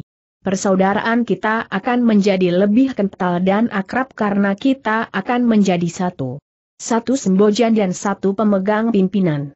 Sedangkan isinya adalah bersatunya kembali keluarga yang pernah terpisah oleh ketamakan orang-orang tua kita waktu itu. Risang menarik nafas dalam-dalam. Dengan kerut di kening Risang bertanya, itulah artinya persaudaraan dan persahabatan yang jauh lebih penting dari kepentingan-kepentingan lain. Bukankah persaudaraan dan persahabatan yang demikian akan menjadi lebih tegas dan pasti bertanya Ki Gede Risang tidak segera menjawab. Sementara itu, orang-orang yang mendengarkan pembicaraan itu memang menjadi tegang. Mereka menunggu jawaban Risang yang akan menentukan hasil dari pembicaraan itu. Mereka sempat terkejut ketika Risang menjawab, baiklah jika itu yang Ki Gede kehendaki. Jadi Angger bersedia menerima keinginan ini bertanya Ki Gede Watu Kuning. Nyi Wiradana dan Kasada memang terkejut ketika Risang berkata, aku setuju Ki Gede. Tetapi ternyata Risang belum selesai. Katanya selanjutnya, jika Ki Gede ingin bernaung di bawah pemerintahanku dan menjadi satu kembali di bumi Sembojan, tentu aku tidak berkeberatan. Sembojan akan menjadi lebih besar dan kuat. Tetapi sudah tentu bahwa padepokan waktu kuning akan tunduk pada segala paugeran yang ada di tanah perdikan Sembojan. Terasa wajah Ki Gedewatu kuning menjadi panas. Ia tidak mengira bahwa anak muda itu dengan beraninya akan menentangnya sementara itu pasukannya yang kuat telah berada di perbatasan. Tetapi Ki Gedewatu Kuning kemudian masih juga tersenyum dan berkata, Angger ternyata seorang yang pandai bergurau. Tetapi persoalan bumi Sembojan bukan sekedar bahan untuk bergurau. Risang yang melihat perubahan wajah Ki Gede betapapun Ki Gede berusaha untuk tersenyum, menjadi semakin berhati-hati. Dengan nada dalam ia menjawab, Ki Gede. Aku memang senang bergurau. Tetapi sekarang aku tidak sedang bergurau. Aku berkata dengan sesungguhnya. Ki Gede tidak usah merasa cemas, bahwa pada suatu saat, Aku mencabut kesediaanku menerima Ki Gede yang ingin kembali ke bumi Sembojan yang sekarang menjadi tanah perdikan dan yang sekarang aku pimpin sebagai kepala tanah perdikan dengan surat kekancingan dari Pajang dan yang bahkan telah diwisuda atas nama Pangeran Benawa. Bagaimanapun juga Ki Gede menyembunyikan perasaannya, namun tersirat juga dalam getaran kata-katanya, Angger Risang. Marilah kita berbicara wajar dan bersungguh-sungguh. Bumi Sembojan ini adalah bumi kelahiran padepokan waktu kuning sebelum tanah perdikan ini ada. Singkatnya, kami ingin memiliki bumi kelahiran kami ini kembali. Lalu bagaimana dengan tanah perdikan Sembojan bertanya Risang. Kalian yang emeng aku orang-orang tanah perdikan Sembojan harus menyatakan diri dalam satu permohonan untuk diizinkan tinggal di Sembojan. Kamilah yang akan menentukan, siapa yang diizinkan dan siapa yang tidak diizinkan. Namun ternyata Risang masih juga mampu menahan diri. Di wajahnya masih nampak sebuah senyum yang menghiasi bibirnya. Bahkan katanya, Ki Gede. Marilah kita berpijak pada kesepakatan kita untuk lebih mementingkan persaudaraan dan persahabatan. Sebaiknya Ki Gede dengan kebaikan hati dengan resmi mohon kepadaku, kepala tanah perdikan Sembojan untuk diperkenankan membuat sebuah padepokan kecil di sudut tanah perdikan ini dengan janji untuk tunduk kepada semua paugeran yang berlaku di tanah perdikan ini. Ki Gedewatu Kuning itu pun tertawa. Tetapi betapa kecutnya suara tertawanya. Dengan suara yang tertahan. Tahan oleh gejolak di dalam dadanya ia berkata, Angger Risang. Jadi tegasnya Angger menolak mengembalikan tanah perdikan ini kepada kami? Ki Gede, jawab Perisang, ikhlaskan saja bumi Sembojan seandainya Ki Gede merasa bahwa bumi ini milik padepokan waktu kuning. Angger, berkata Ki Gede yang masih berusaha untuk berbicara dengan lembut, Aku sebenarnya merasa kasihan kepada Angger sekarang ini.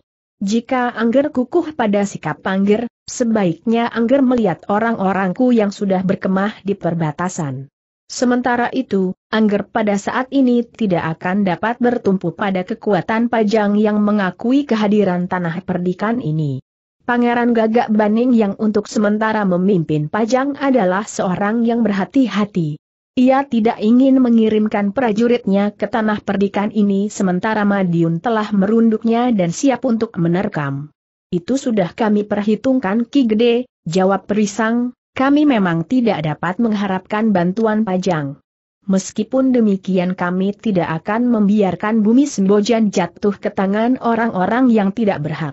Betapa lembutnya bulu-bulu domba yang Ki Gede kenakan, tetapi getar suara Ki Gede tidak lebih ramah dari geram seekor serigala. Ternyata Ki Gede masih juga berhasil menguasai diri.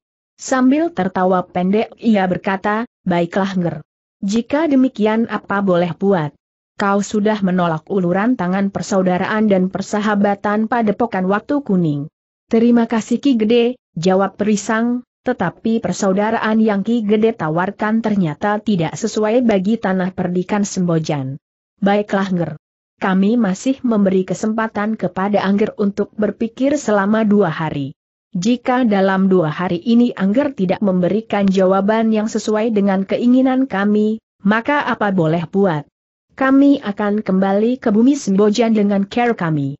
Sekali lagi aku peringatkan, bahwa Pajang tidak akan mungkin dapat membantu Angger. Terima kasih atas peringatan itu Ki Gede. Tetapi sayang, bahwa kami akan tetap dalam sikap dan pendirian kami. Bumi Sembojan adalah bumi kelahiran.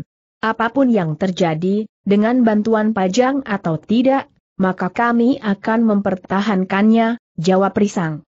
Ki Gede tertawa, katanya, Angger memang seorang yang pantas untuk menjadi seorang kepala tanah perdikan. Angger memegang jabatan Angger dengan penuh tanggung jawab.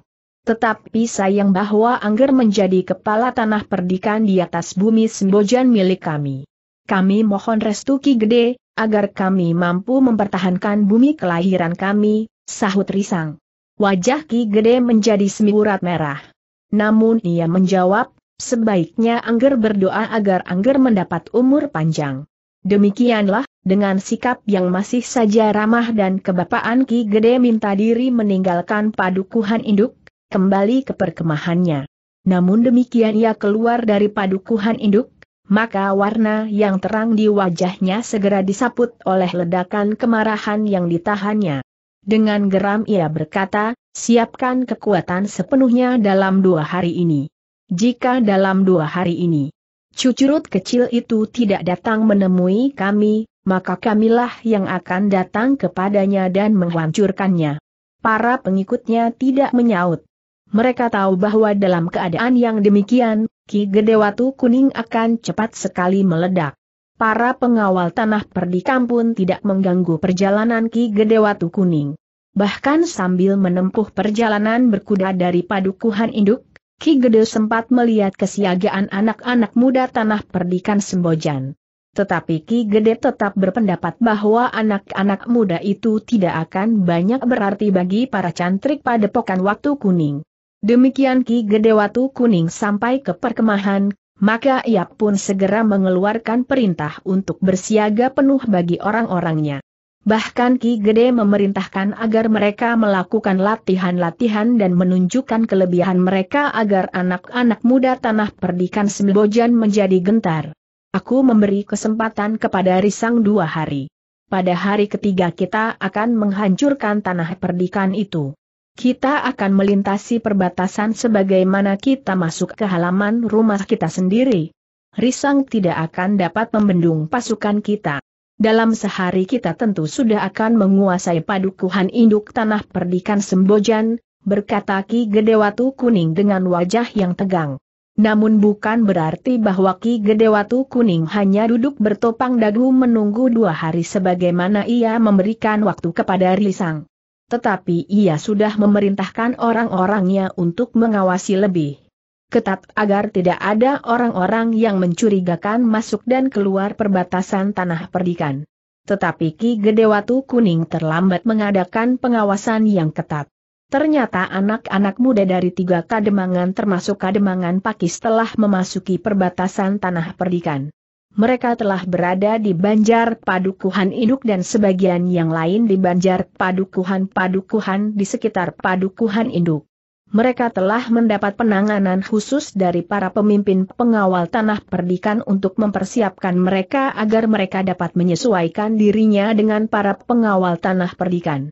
Dalam pada itu, ternyata waktu yang dua hari yang diberikan oleh Ki Gedewatu Kuning itu sangat berarti bagi para pengawal tanah perdikan.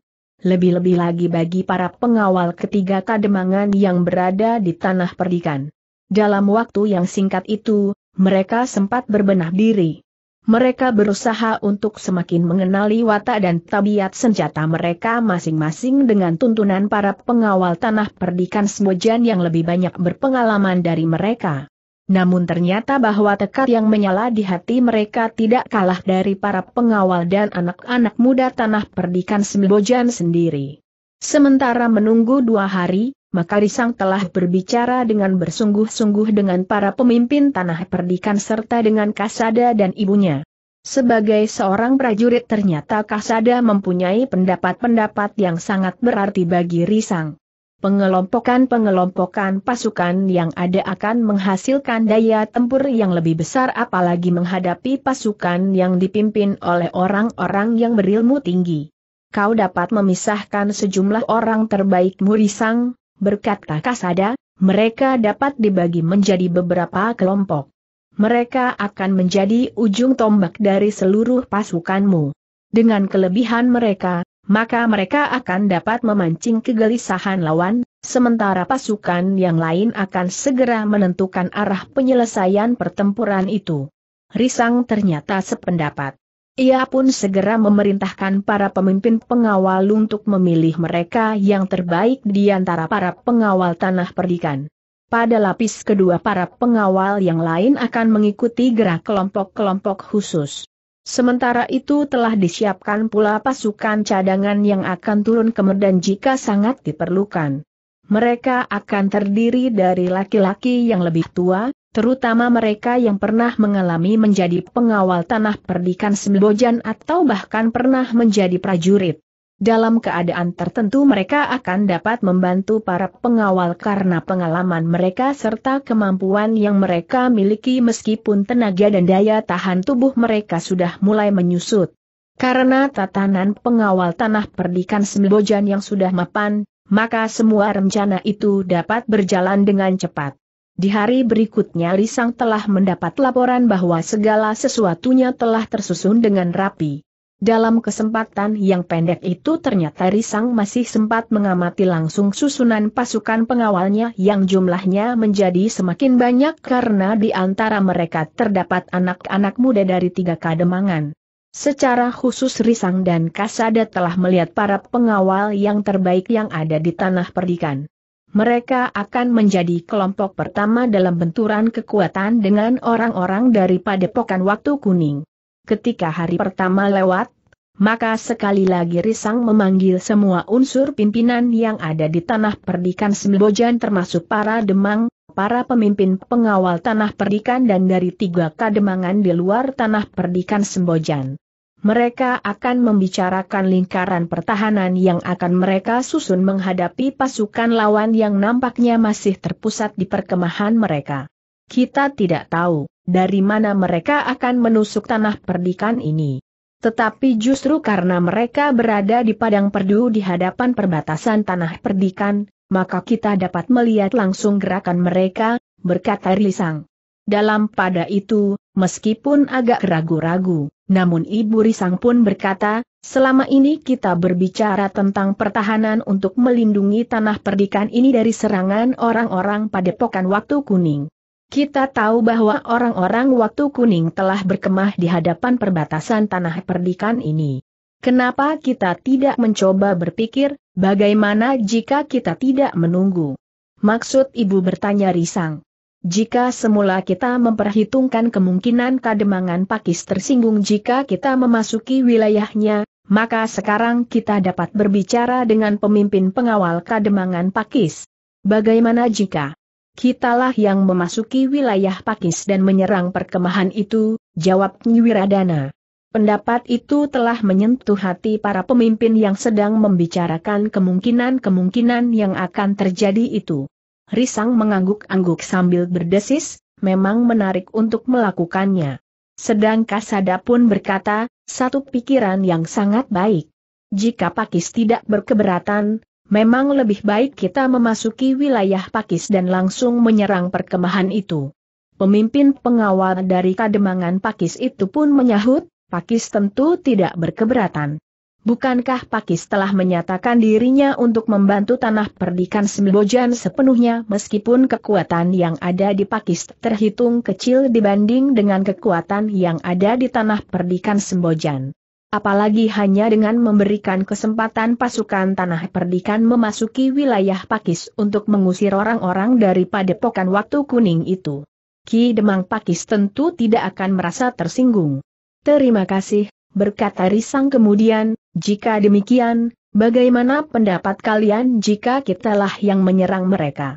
Bukan sekedar menunggu apa yang akan mereka lakukan besok lusa. Ternyata semua orang yang hadir menyetujuinya. Bahkan mereka menjadi tidak sabar menunggu waktu yang disediakan oleh Ki Gedewatu Kuning. Tetapi pasukan Tanah Perdikan Sembojan tidak dapat bergerak lebih cepat dari rencana itu.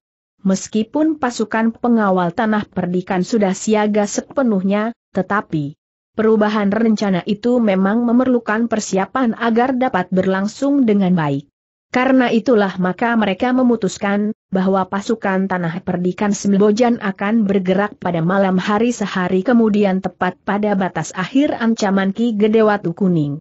Sebelum fajar, perkemahan itu harus sudah dikepung dan serangan akan dilakukan dari beberapa arah.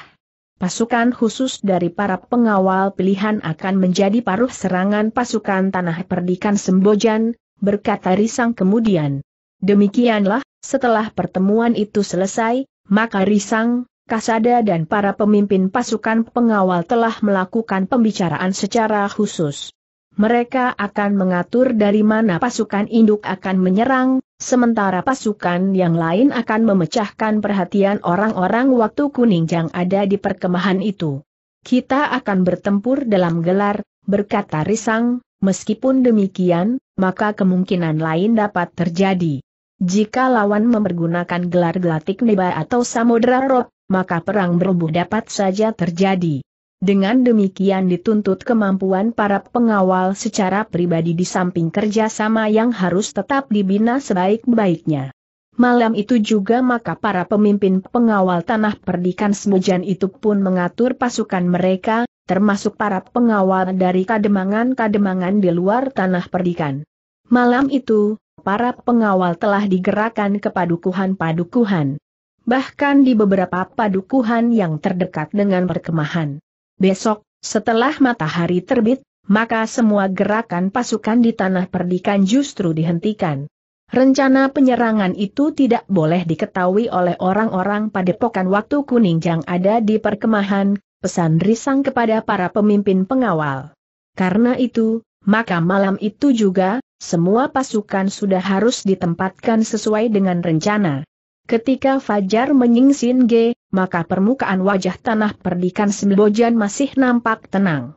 Tetapi ketika matahari menjadi semakin tinggi, maka yang dilihat oleh orang-orang pada pokan waktu kuning adalah justru orang-orang yang mengungsi, sehingga kesan yang timbul pada orang-orang pada pokan waktu kuning adalah bahwa tanah perdikan Sembojan akan mempertahankan diri pada padukuhan-padukuhan pertama di belakang perbatasan. Karena itu, maka persiapan-persiapan yang dilakukan oleh orang-orang pada pokan waktu kuning adalah justru kesiagaan untuk menyerang. Beberapa kelompok di antara mereka sebagaimana diperintahkan oleh Ki Gedewatu Kuning telah melakukan latihan-latihan yang memang membuat para pengawal tanah perdikan Sembojan menjadi berdebar-debar. Kelompok-kelompok itu telah menunjukkan betapa mereka memiliki kemampuan olah senjata yang sanaga tinggi.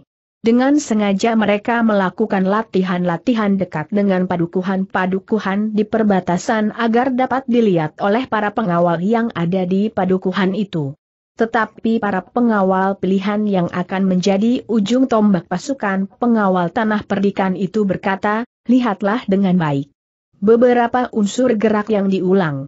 Tidak hanya sepihak, tetapi kedua belah pihak. Maksudmu bertanya seorang pengawal. Latihan yang kita lihat memang mendebarkan. Tetapi yang mereka lakukan benar-benar telah terlatih untuk waktu yang panjang, jawab pengawal itu. Para pengawal pun mengangguk-angguk. Seorang di antara mereka berkata, jadi kapan pun dan di mana pun, latihan-latihan itu akan berlangsung seperti itu. Ya, jawab pengawal terpilih itu, bukankah kita juga dapat melakukannya jika kita ingin? Para pengawal, terutama yang termuda di antara mereka mengangguk.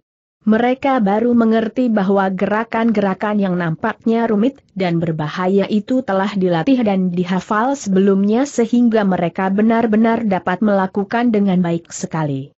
Meskipun demikian pengawal terpilih yang telah berpengalaman itu berkata, tetapi bukan berarti bahwa mereka tidak memiliki kelebihan. Mereka memang memiliki keterampilan yang tinggi daya tahan tubuh yang kuat dan sudah tentu pengalaman yang luas. Kita memang harus berhati-hati menghadapi mereka.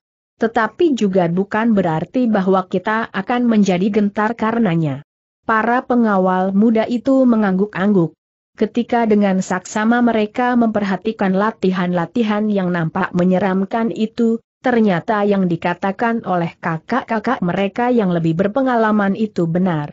Latihan itu berlangsung dengan lancar dan sangat tertib buat sebuah latihan yang bersungguh-sungguh. Ketika matahari melewati puncaknya, maka Ki Gedewatu Kuning nampaknya sudah yakin bahwa Risang tidak akan datang atau mengirimkan utusannya untuk menyampaikan kesediaannya menerima keinginan Ki Gedewatu Kuning. Karena itu, maka Ki Gede pun telah memerintahkan semua kekuatan yang ada padanya untuk bersiap sebaik-baiknya, besok, di saat matahari terbit, kita memasuki tanah perdikan Sembojan. Kita tidak usah memilih medan. Di mana pun kita siap untuk bertempur. Kekuatan kita jauh lebih besar dari kekuatan yang ada di tanah perdikan. Meskipun ada satu dua orang tanah perdikan yang memiliki kemampuan tinggi, sehingga beberapa orang kita telah dapat dikalahkan, tetapi orang-orang kita itu bukannya orang-orang terbaik di padepokan waktu kuning. Karena itulah, maka menjelang sore hari, padepokan waktu kuning yang sedang berkemah di depan perbatasan tanah perdikan Sembojan itu telah mempersiapkan diri. Mereka telah membagi diri dalam kelompok-kelompok yang akan memasuki tanah perdikan Sembojan. Para pengawal dari tanah perdikan Sembojan memperhatikan kesiagaan pasukan waktu kuning itu dengan saksama. Sementara tanah perdikan sendiri belum menunjukkan tanda-tanda bahwa merekalah yang akan datang menyerang perkemahan itu. Ketika senja turun, maka Ki Gedewatu Kuning justru memerintahkan orang-orangnya untuk beristirahat kecuali sebagian dari mereka yang bertugas menjaga perkemahan itu. Pada saat itu pula, Risang juga memerintahkan para pengawalnya untuk beristirahat sampai tengah malam. Setelah itu, maka mereka akan segera bergerak. Namun para pemimpin pengawal tanah perdikan Sembojan tidak sempat beristirahat.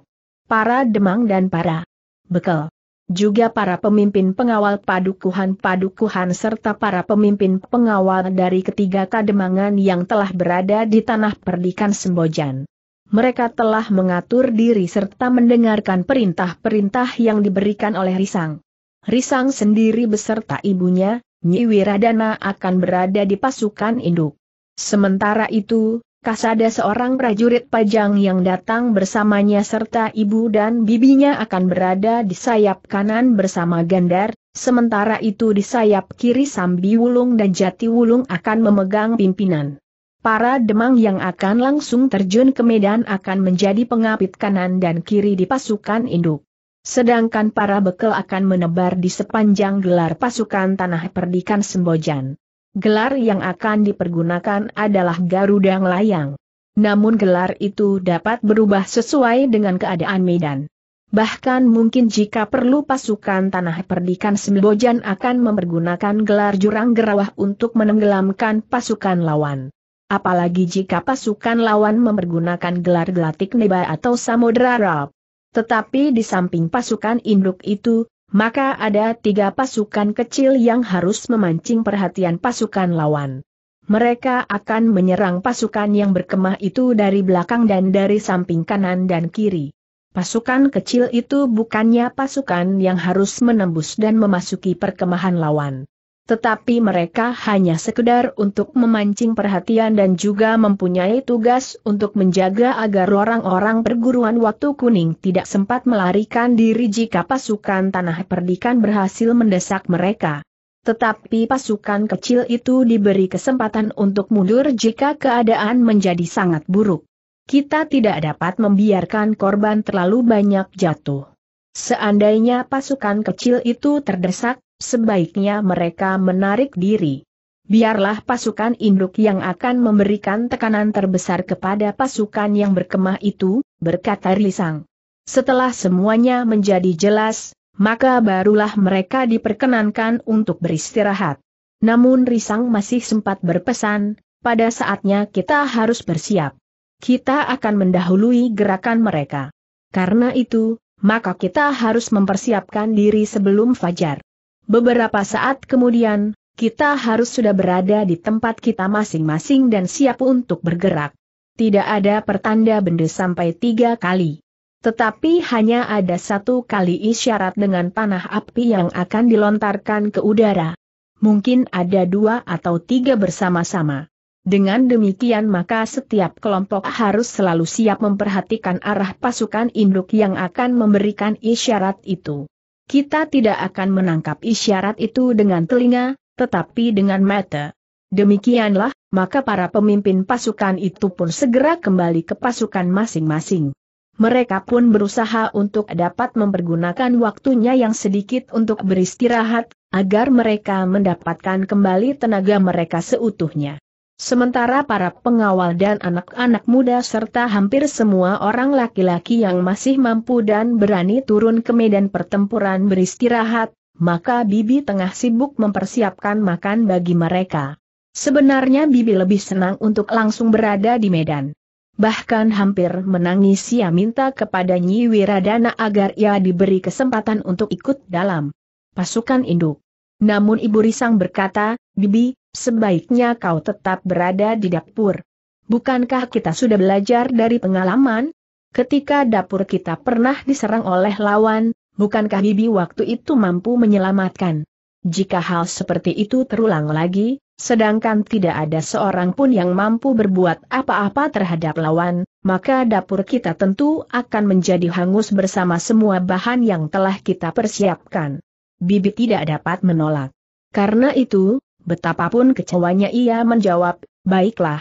Aku akan melakukan tugas ini sebaik-baiknya untuk tanah perdikan Sembojan dan anakku Risang.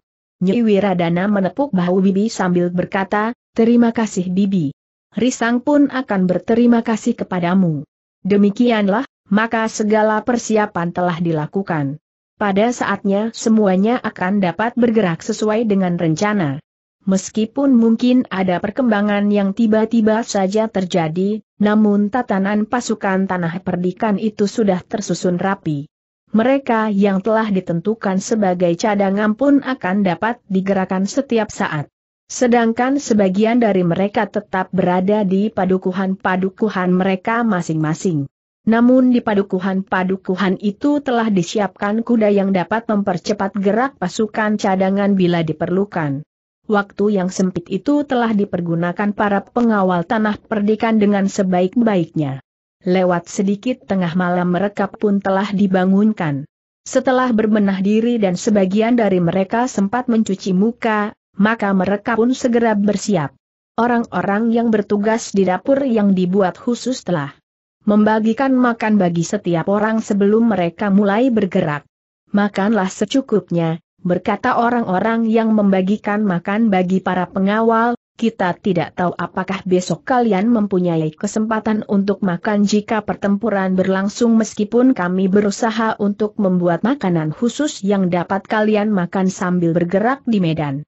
Bawa saja besok ke medan jika memungkinkan, jawab para pengawal. Demikianlah, maka pada saatnya para pengawal pun telah siap seluruhnya. Memang tidak ada isyarat bunyi sama sekali.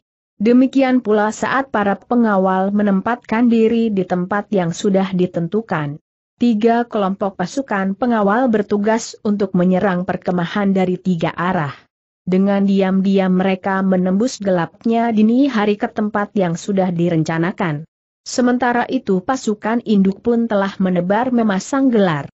Sementara itu, orang-orang yang berada di perkemahan pun telah mulai bersiap-siap pula mereka merencanakan untuk memasuki tanah perdikan demikian Fajar menyingsing. Karena itu, maka mereka tidak terlalu tergesa-gesa untuk menempatkan diri. Apalagi mereka merasa pasukan waktu kuning itu demikian kuatnya sehingga mereka akan dapat memasuki perbatasan tanah perdikan tanpa kesulitan. Mereka tidak akan memilih di mana mereka menembus perbatasan. Kita tahu bahwa di padukuhan-padukuhan terutama di perbatasan telah disiapkan pasukan pengawal. Tetapi itu tidak berarti apa-apa bagi kita, berkata Ki Gedewatu. Kuning, bahkan kita tahu bahwa hal itu merupakan salah satu kebodohan kepala tanah perdikan yang masih sangat muda itu.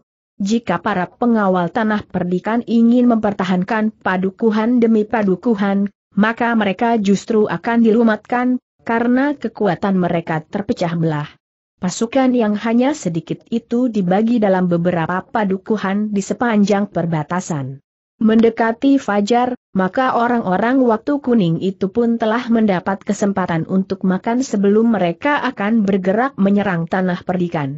Semuanya itu mereka lakukan dengan terbuka.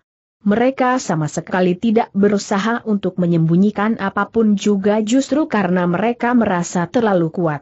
Saat itulah yang ditunggu Risang. Jika orang-orang waktu kuning itu sedang makan, maka pasukan tanah perikan akan mulai bergerak. Namun sebelum ada isyarat untuk bergerak bagi pasukan tanah perdikan, dua orang pengawas dari perkemahan Watu Kuning berlari-lari mencari Ki Gede Watu Kuning untuk memberikan laporan. Ada apa bertanya Ki Gede Watu Kuning? Kami melihat kelompok-kelompok kecil pengawal tanah perdikan mulai bergerak menyeberang perbatasan. Wajah Ki Gedewatu kuning berkerut.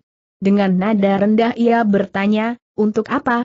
Kami tidak tahu Ki Gede. Mereka menyeberangi perbatasan dan melingkar beberapa puluh patok dari perkemahan kita. Satu tindakan yang sangat bodoh, berkata Ki Gede, mereka tentu berniat untuk menyerang pasukan kita dari belakang setelah terjadi pertempuran antara pasukan kita dengan para pengawal tanah perdikan. Seharusnya mereka tidak memecah-mecah pasukan mereka yang tidak terlalu besar itu di padukuhan-padukuhan dan apalagi kelompok-kelompok kecil yang akan menyerang dari belakang atau dari lambung. Itu tidak akan berarti apa-apa. Kita tidak akan menyerang tanah perdikan dengan gelar apa pun juga. Kita akan menyerang sebagaimana kita pergi bertamasya dengan anak cucu melihat-lihat lereng-lereng bukit yang hijau, danau yang luas dengan riak-riak kecil serta ngarai yang terbentang seperti permadani yang sangat luas. Tetapi mereka akan dapat berbuat sesuatu di luar dugaan, berkata salah seorang dari para pengawas itu. Kau tidak usah menjadi cemas dan apalagi menjadi bingung. Biarkan mereka melakukan apa saja. Kita tidak akan terguncang oleh mereka bahkan dengan akal dan care apa pun juga. Apakah kau tidak yakin? Kedua orang pengawas itu tidak berani menjawab lagi. Mereka kemudian hanya dapat mengangguk-angguk mengiyakan. Sementara itu, maka orang-orang pada pokan Watu Kuning, baik para cantrik yang memang berguru pada perguruan Watu Kuning, maupun orang-orang yang hanya ikut saja bersarang di padepokan itu, telah sibuk dengan sebungkus nasi yang mereka terima dari para petugas di dapur mereka. Nasi hangat dengan daging hasil buruan dan bahkan daging kambing yang sudah mereka persiapkan sebelumnya. Pada saat yang ditunggu itulah, maka Risang pun telah siap memberikan isyarat kepada tiga orang yang berdiri di sebelahnya dengan panah api yang sudah melekat pada busurnya. Nyalakan api, perintah Risang. Beberapa orang telah membuat api dengan emput aren dan batu titikan. Kemudian dengan dimit belerang mereka menyalakan api yang kemudian disulutkan pada ujung anak panah api yang sudah siap itu. Sekejap kemudian, maka Risang pun telah memberikan isyarat dengan mengangkat tangannya. Kemudian, tiga buah anak panah api telah lepas dari busurnya dan meluncur ke udara. Orang-orang yang sedang makan di perkemahan memang terkejut. Sementara itu padang perdu itu masih disaput oleh kegelapan tetapi beberapa oncor telah membuat beberapa bagian dari padang perdu itu dapat diamati dari kejauhan oleh para petugas dari tanah perdikan Sembojan.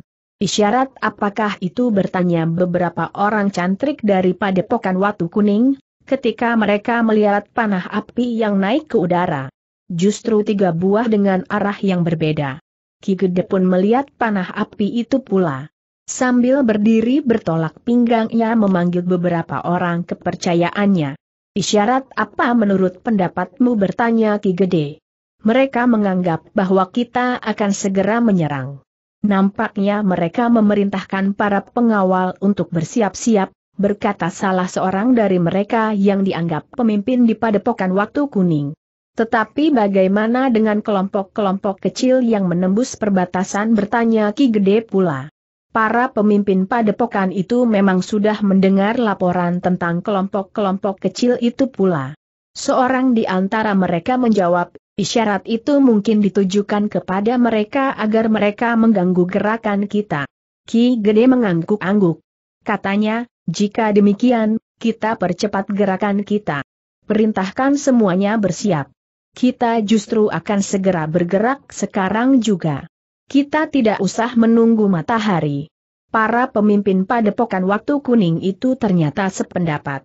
Karena itu, maka mereka pun segera menebar kembali ke tempat mereka masing-masing. Ki Gedewatu Kuning akan segera memerintahkan pasukannya bergerak demikian mereka selesai makan. Justru karena itu, maka para cantrik itu pun menjadi tergesa-gesa para pemimpin mereka mulai menjadi gelisah dan karena itu mereka memerintahkan para cantrik untuk segera menyelesaikan makan mereka. Tetapi mereka tidak mendapat kesempatan untuk berpikir. Tiba-tiba saja para pengawas telah memberitahukan bahwa pasukan pengawal tanah perdikan Sembojan justru telah bergerak menyeberangi perbatasan dan menuju ke perkemahan. Mereka berani menyerang kita bertanya Ki Gedewatu Kuning. Mereka memang menyerang, jawab seorang pengawas. Kepala tanah perdikan yang masih muda itu memang gila. Seharusnya mereka bertahan di belakang dinding pedukuhan dan menyambut kedatangan kita dengan menghujani anak panah dan lembing untuk menahan arus pasukan kita, teriak Ki Gede. Tetapi mereka sudah menyerang, sahut seorang putut kepercayaan Ki Gede. Kenapa anak itu tidak memusatkan pertahanannya pada padukuhan induknya saja Ki Gede itu menjadi sangat marah. Serangan itu baginya merupakan satu penghinaan. Karena itu maka katanya kemudian, kerahkan semua kekuatan yang ada. Kita akan menghancurkan mereka dalam sekejap. Sebelum matahari terbit, mereka harus sudah menjadi bagaikan tebasan batang ilalang. Para pemimpin padepokan waktu kuning itu pun segera bergerak. Dengan tergesa-gesa para cantrik, putut, jejanggan dan semua unsur yang ada di padepokan itu telah berlari-lari ke kelompok mereka masing-masing. Ternyata mereka pun mampu bergerak cepat. Sesaat kemudian, maka mereka pun telah bersiap menyongsong pasukan tanah perdikan Sembojan. Mereka ternyata terkejut melihat sederet pasukan melebar dalam gelar dalam keremangan dini hari mereka. Melihat gelar yang utuh untuk bergerak mendekati perkemahan mereka di padang perdu yang cukup luas itu. Anak iblis, geram Ki Gedewatu Kuning, dari mana mereka sempat mengumpulkan orang sebanyak itu. Tetapi putut kepercayaan yang mendampinginya berkata, kami benar-benar akan menebasi lelang kita tidak akan dapat menghitung dan bahkan kita tidak akan sempat menguburkan mereka yang akan menjadi korban pertempuran ini. Ingat, ada di antara mereka yang berilmu, berkata Ki Gedewatu Kuning, Nagawana dan Nagawereng sama sekali tidak mampu berbuat apa-apa ketika ia bertemu dengan dua orang pemimpin pengawal tanah perdikan yang menyebut dirinya sebagai petani kebanyakan. Sementara itu, lima orang kita yang lain terbantai bersama kuda-kuda mereka sementara Wiragobang hampir mati pula di tangan orang-orang tanah perdikan tetapi jumlah mereka tidak lebih dari tiga orang. Yang bertempur melawan Nagawana dan Nagawereng tentu juga yang membantai kelima orang yang mengawasi jalan ke Pajang itu. Juga mereka pula lah yang mengalahkan Wiragobang, sahut putut kepercayaannya itu. Yeang mengalahkan Wiragobang adalah seorang perempuan, geram Ki Gede sambil melangkah dengan cepat di paling depan. Perempuan itu tentu ibu kepala tanah perdikan Sembojan yang pernah menjadi pemangku jabatan kepala tanah perdikan. Ia memang seorang perempuan yang berilmu tinggi. Tetapi sebagaimana kita ketahui, Wiragobang terlalu lemah menghadapi seorang perempuan. Perempuan itu sudah tua, bentak Ki Gedewatu Kuning. Apakah Wiragobang dapat membedakan perempuan tua dan muda bahkan yang telah pikun sekalipun, sahut putut itu. Dalam keadaan gelisah Ki Gedewatu Kuning masih dapat tertawa. Namun kemudian ia berteriak, hancurkan mereka. Gelar itu harus dipecahkan menjadi kepingan-kepingan yang terkoyak-koyak. Bunuh semua orang yang ada di gelar itu kecuali mereka yang menyerah. Yang menyerah akan menjadi budak yang melayani kekuasaan kita di tanah perdikan Sembojan. Teriakan itu lamat-lamat terdengar oleh orang-orang tanah perdikan Sembojan. Namun teriakan itu segera tenggelam oleh sorak orang-orang tanah perdikan yang bagaikan menggugurkan sisa-sisa bintang di langit. Sorak itu memang sempat menggetarkan jantung orang-orang pada pokan waktu kuning. Namun seorang putut pun kemudian berteriak, Hi, apakah kita tidak dapat berteriak sekeras mereka? Sebenarnya lah orang-orang pada pokan waktu kuning itu pun bersorak-sorak pula. Lebih keras dan bahkan kesannya lebih kasar. Di sela-sela sorak yang mengguntur itu terdengar umpatan-umpatan kasar bahkan kotor. Demikianlah, maka kedua pasukan itu menjadi semakin dekat. Ibu Kasada yang berada di sayap kanan sempat melihat sisa bulan tua yang masih bertengger di punggung bukit di sisi timur langit yang sudah menjadi merah namun terasa demikian cepatnya langit menjadi terang. Ketika kedua pasukan itu saling berhadapan, maka langit sudah menjadi semakin terang. Sekali lagi terdengar teriakan Ki Gedewatu Kuning, sudah terlambat untuk mohon pengampunan. Tetapi masih mungkin untuk menyerah dan dibiarkan hidup. Yang lain akan ditumpas seperti menyulut ilalang kering. Namun dalam pada itu, pasukan padepokan waktu kuning itu terkejut. Dari lambung kiri dan kanan beberapa kelompok pengawal tanah perdikan telah berlari-lari seakan-akan memburu mereka dengan mengacu-acukan senjata mereka yang telanjang. Ternyata orang-orang pada pokan waktu kuning itu tidak menjadi bingung. Dengan sendirinya, kelompok-kelompok kecil di antara mereka telah memisahkan diri untuk menyongsong pasukan yang menyerang lambung itu. Bahkan kemudian mereka terkejut ketika mereka melihat asap mengepul di perkemahan. Tanpa mendapat perintah dari Risang, beberapa gubuk perkemahan itu telah terbakar. Pertempuran kecil telah terjadi antara sekelompok pengawal yang bertugas menyerang dari belakang dengan orang-orang padepokan yang bertugas di dapur. Dalam pertempuran kecil yang terjadi itu dengan tidak sengaja, maka api pun telah terserak oleh hentakan-hentakan pertempuran, sehingga menjilat dinding-dinding bambu yang sudah menjadi kering. Api pun dengan cepat berkobar dan membakar atap jerami gubuk-gubuk di perkemahan. Bahkan ikut terbakar juga bahan-bahan makanan yang menjadi persediaan orang-orang waktu kuning. Ki Gedewatu Kuning yang melihat asap dan bahkan kemudian lidah api yang menjilat itu mengumpat habis-habisan. Kesan keramahannya ketika ia mengunjungi Risang telah lenyap sama sekali. Dengan kemarahan yang memuncak ia berteriak, biarlah apa yang ada di perkemahan itu terbakar. Kita akan mencari gantinya di tanah perdikan Sembojan. Kita akan mengambil kembali tanah perdikan itu dengan segala isinya. Orang-orang padepokan waktu kuning itu pun berteriak semakin kasar. Sementara kelompok-kelompok kecil di lambung pasukan dari padepokan waktu kuning itu sudah bertempur melawan kelompok-kelompok kecil pasukan pengawal tanah perdikan Sembojan. Ketika benturan itu terjadi, maka orang-orang dari padepokan waktu kuning itu terkejut. Mereka tidak mengira sama sekali bahwa ujung kekuatan kecil itu ternyata memiliki kemampuan yang tinggi. Mereka adalah para pengawal terpilih yang harus membuka jalan pertempuran bagi kawan-kawannya. Bahwa para cantrik dari padepokan waktu kuning itu terkejut dan bahkan sesaat mereka tertahan oleh para pengawal yang berdiri di paling depan, telah membesarkan hati para pengawal yang lain. Dengan berani mereka menyerang para cantrik yang masih tergetar hatinya melihat kemampuan para pengawal. Namun sejenak kemudian pertempuran telah berlangsung dengan sengitnya antara kelompok-kelompok kecil di lambung itu. Sementara itu induk pasukan tanah perdikan Sembojan yang menyerang dalam gelar itu pun telah berada beberapa langkah saja dari pasukan dari padepokan waktu kuning. Risang dan ibunya yang berada di induk pasukan telah melambaikan senjatanya memberikan perintah kepada pasukannya untuk langsung menyerang lawannya. Para pengawal yang ada di paruh pasukan induk itu pun adalah pengawal-pengawal pilihan. Dengan tangkasnya mereka berlari menyergap orang-orang yang berada di paling depan dari pasukan waktu kuning. Sementara itu, para demang yang menjadi pengapit kepala tanah perdikan Sembojan bersama beberapa orang kepercayaan mereka pun telah membenamkan diri dalam benturan-benturan kekuatan yang terjadi. Seperti benturan pada kelompok-kelompok kecil di lambung, maka orang-orang pada pokan waktu kuning yang membentur paruh induk pasukan tanah perdikan Sembojan dalam gelar Garuda Layang juga terkejut. Kelompok-kelompok kecil di paruh pasukan pengawal tanah perdikan itu ternyata memiliki kemampuan di luar dugaan mereka. Dengan tangkasnya para pengawal itu menyusup memasuki pertempuran dengan kemampuan olah senjata yang tinggi.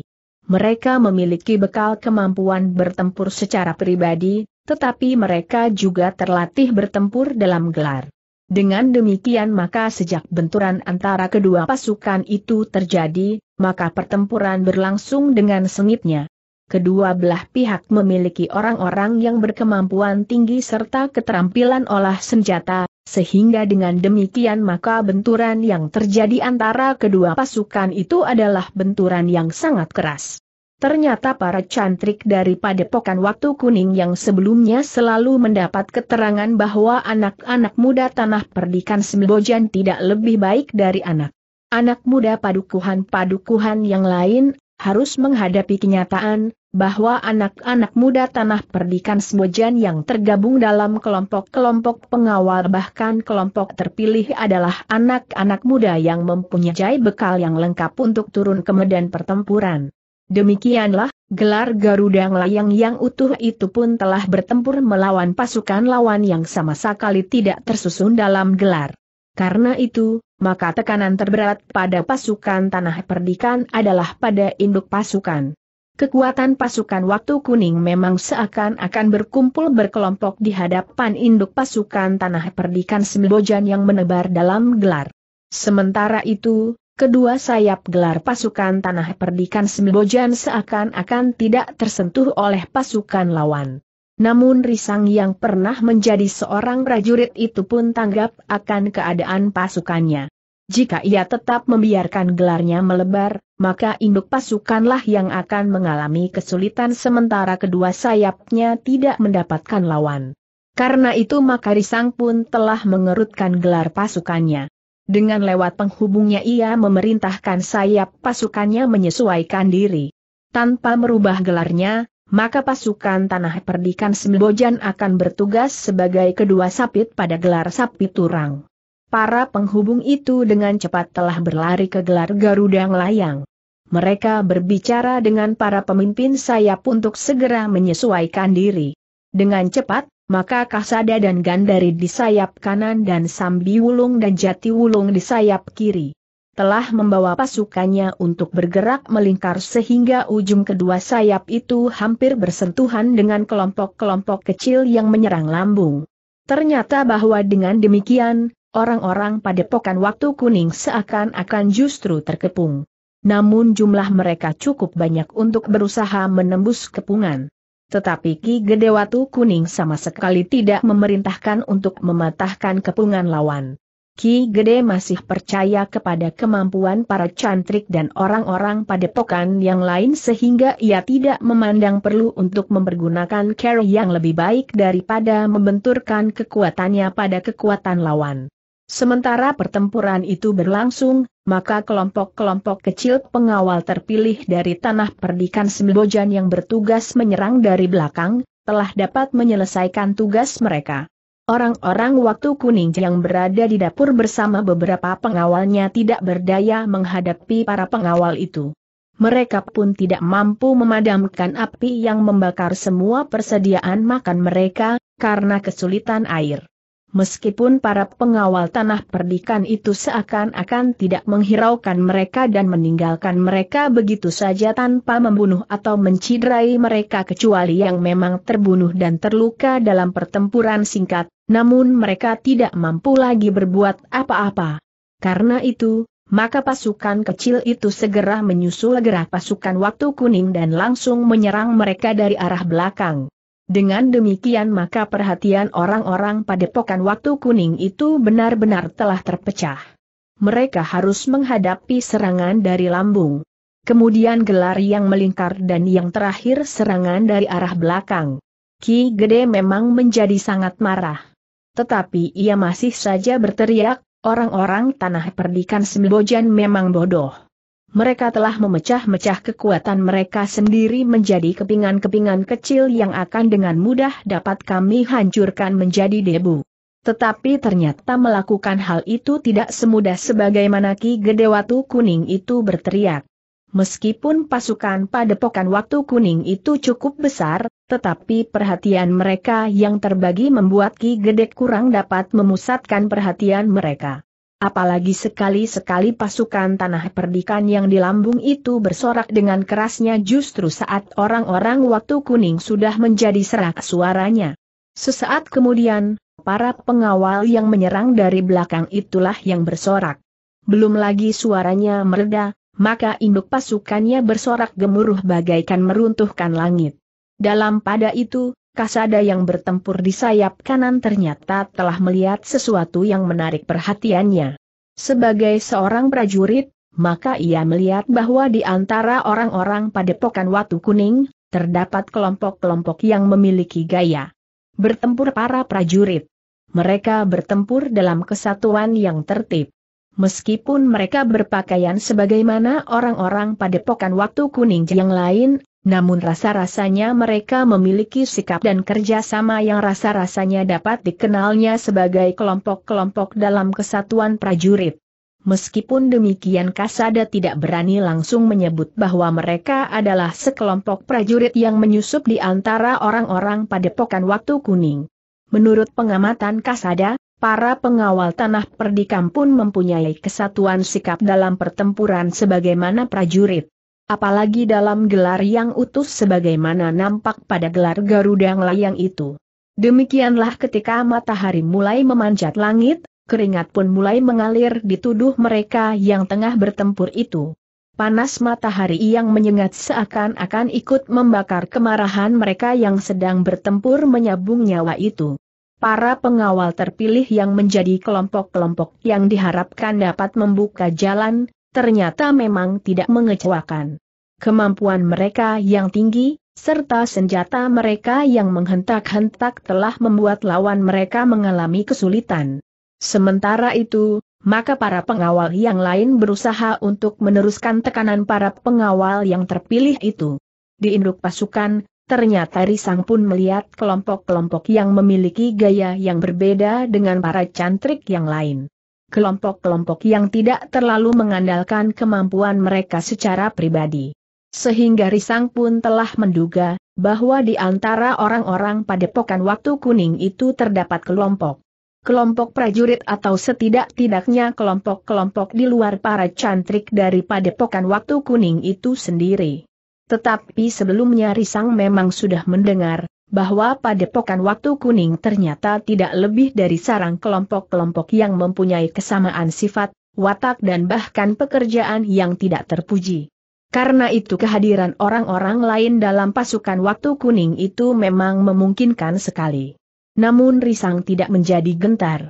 Pasukan pengawal tanah perdikan dengan bantuan anak-anak muda pengawal kademangan di luar tanah perdikan itu pun jumlahnya cukup banyak.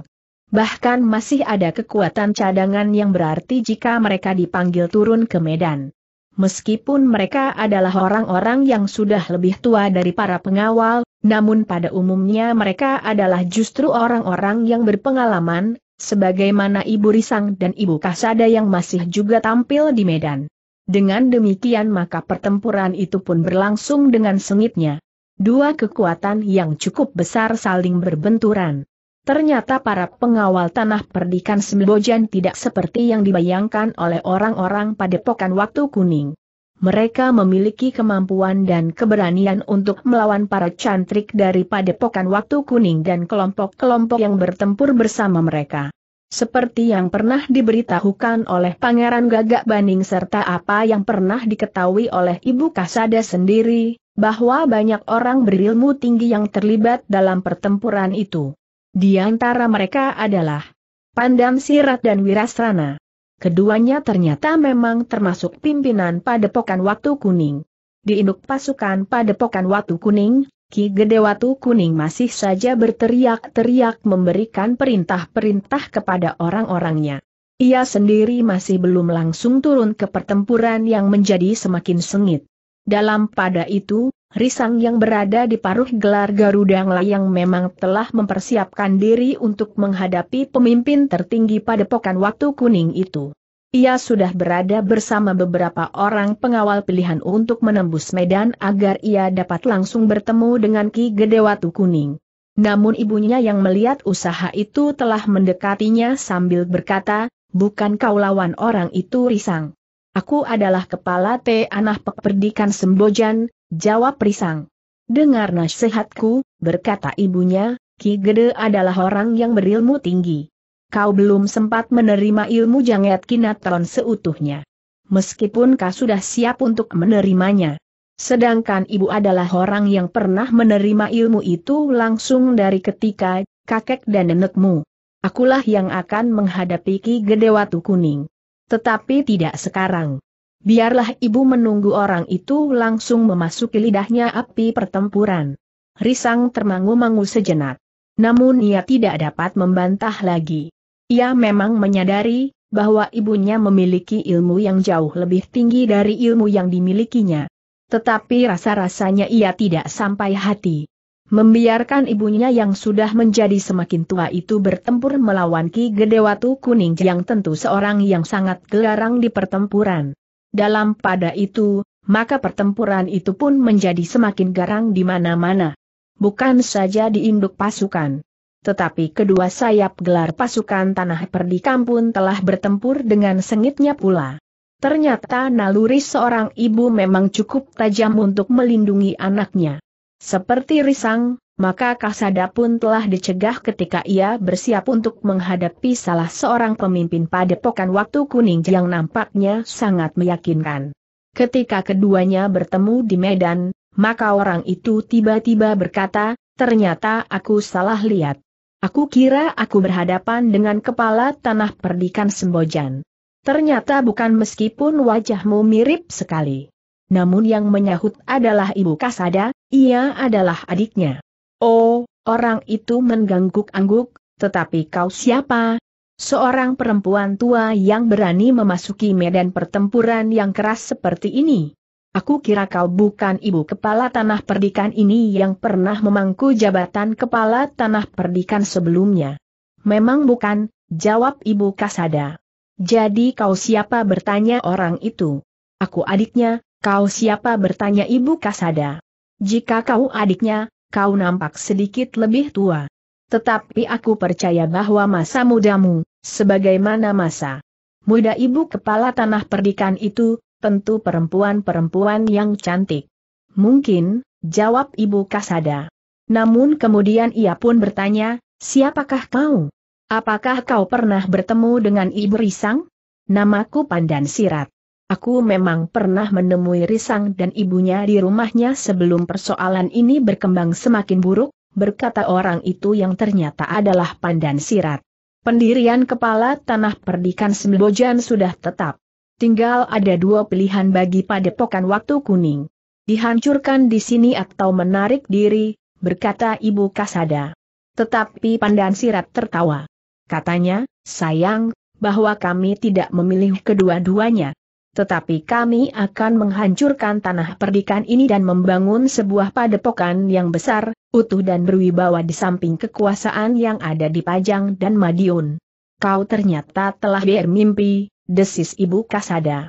Apa pun yang kau katakan, kami akan menghancurkan. Pasukan tanah perdikan yang sombong ini, geram orang. Itu. Kasada menjadi tidak sabar lagi.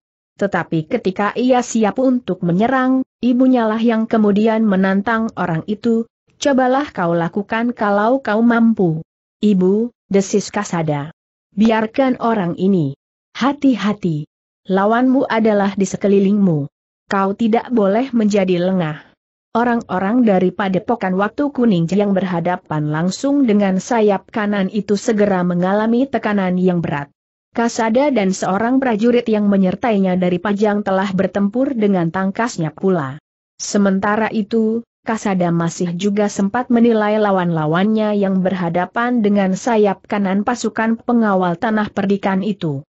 Semakin lama Kasada semakin yakin, bahwa di dalam lingkungan orang-orang padepokan waktu kuning itu terdapat sekelompok prajurit atau sekelompok orang yang menjadi bagian dari pasukan yang lebih teratur dan tertib dari orang-orang padepokan waktu kuning sendiri yang nampaknya memang terdiri dari para cantrik perguruan waktu kuning dan orang-orang yang sekedar ikut bersarang di padepokan itu. Bahkan semakin lama Kasada pun semakin menggali orang-orang waktu kuning dari unsur-unsur gerak mereka yang bersumber dari perguruan yang sama, serta ciri-ciri yang mereka perlihatkan. Teriakan-teriakan dan bahkan umpatan-umpatan mereka. Sementara itu, kelompok yang lain dapat dilihat dari jenis senjata mereka yang sama. Tetapi Kasada memang tidak berani mengambil kesimpulan apalagi penglihatan yang hanya sepintas karena pertempuran itu pun menjadi semakin lama semakin sengit. Hanya karena latihan-latihan yang mantap sajalah para pengawal tanah perdikan Sembojan mampu mempertahankan gelarnya sambil menekan kedudukan lawan. Di sayap yang lain, Sambi Wulung dan Jati Wulung telah bertempur dengan garangnya pula. Keduanya bersama sama beberapa orang pengawal terpilih seakan-akan mampu menyebabkan pasukan lawan yang bertempur mengandalkan kemampuan pribadi mereka masing-masing.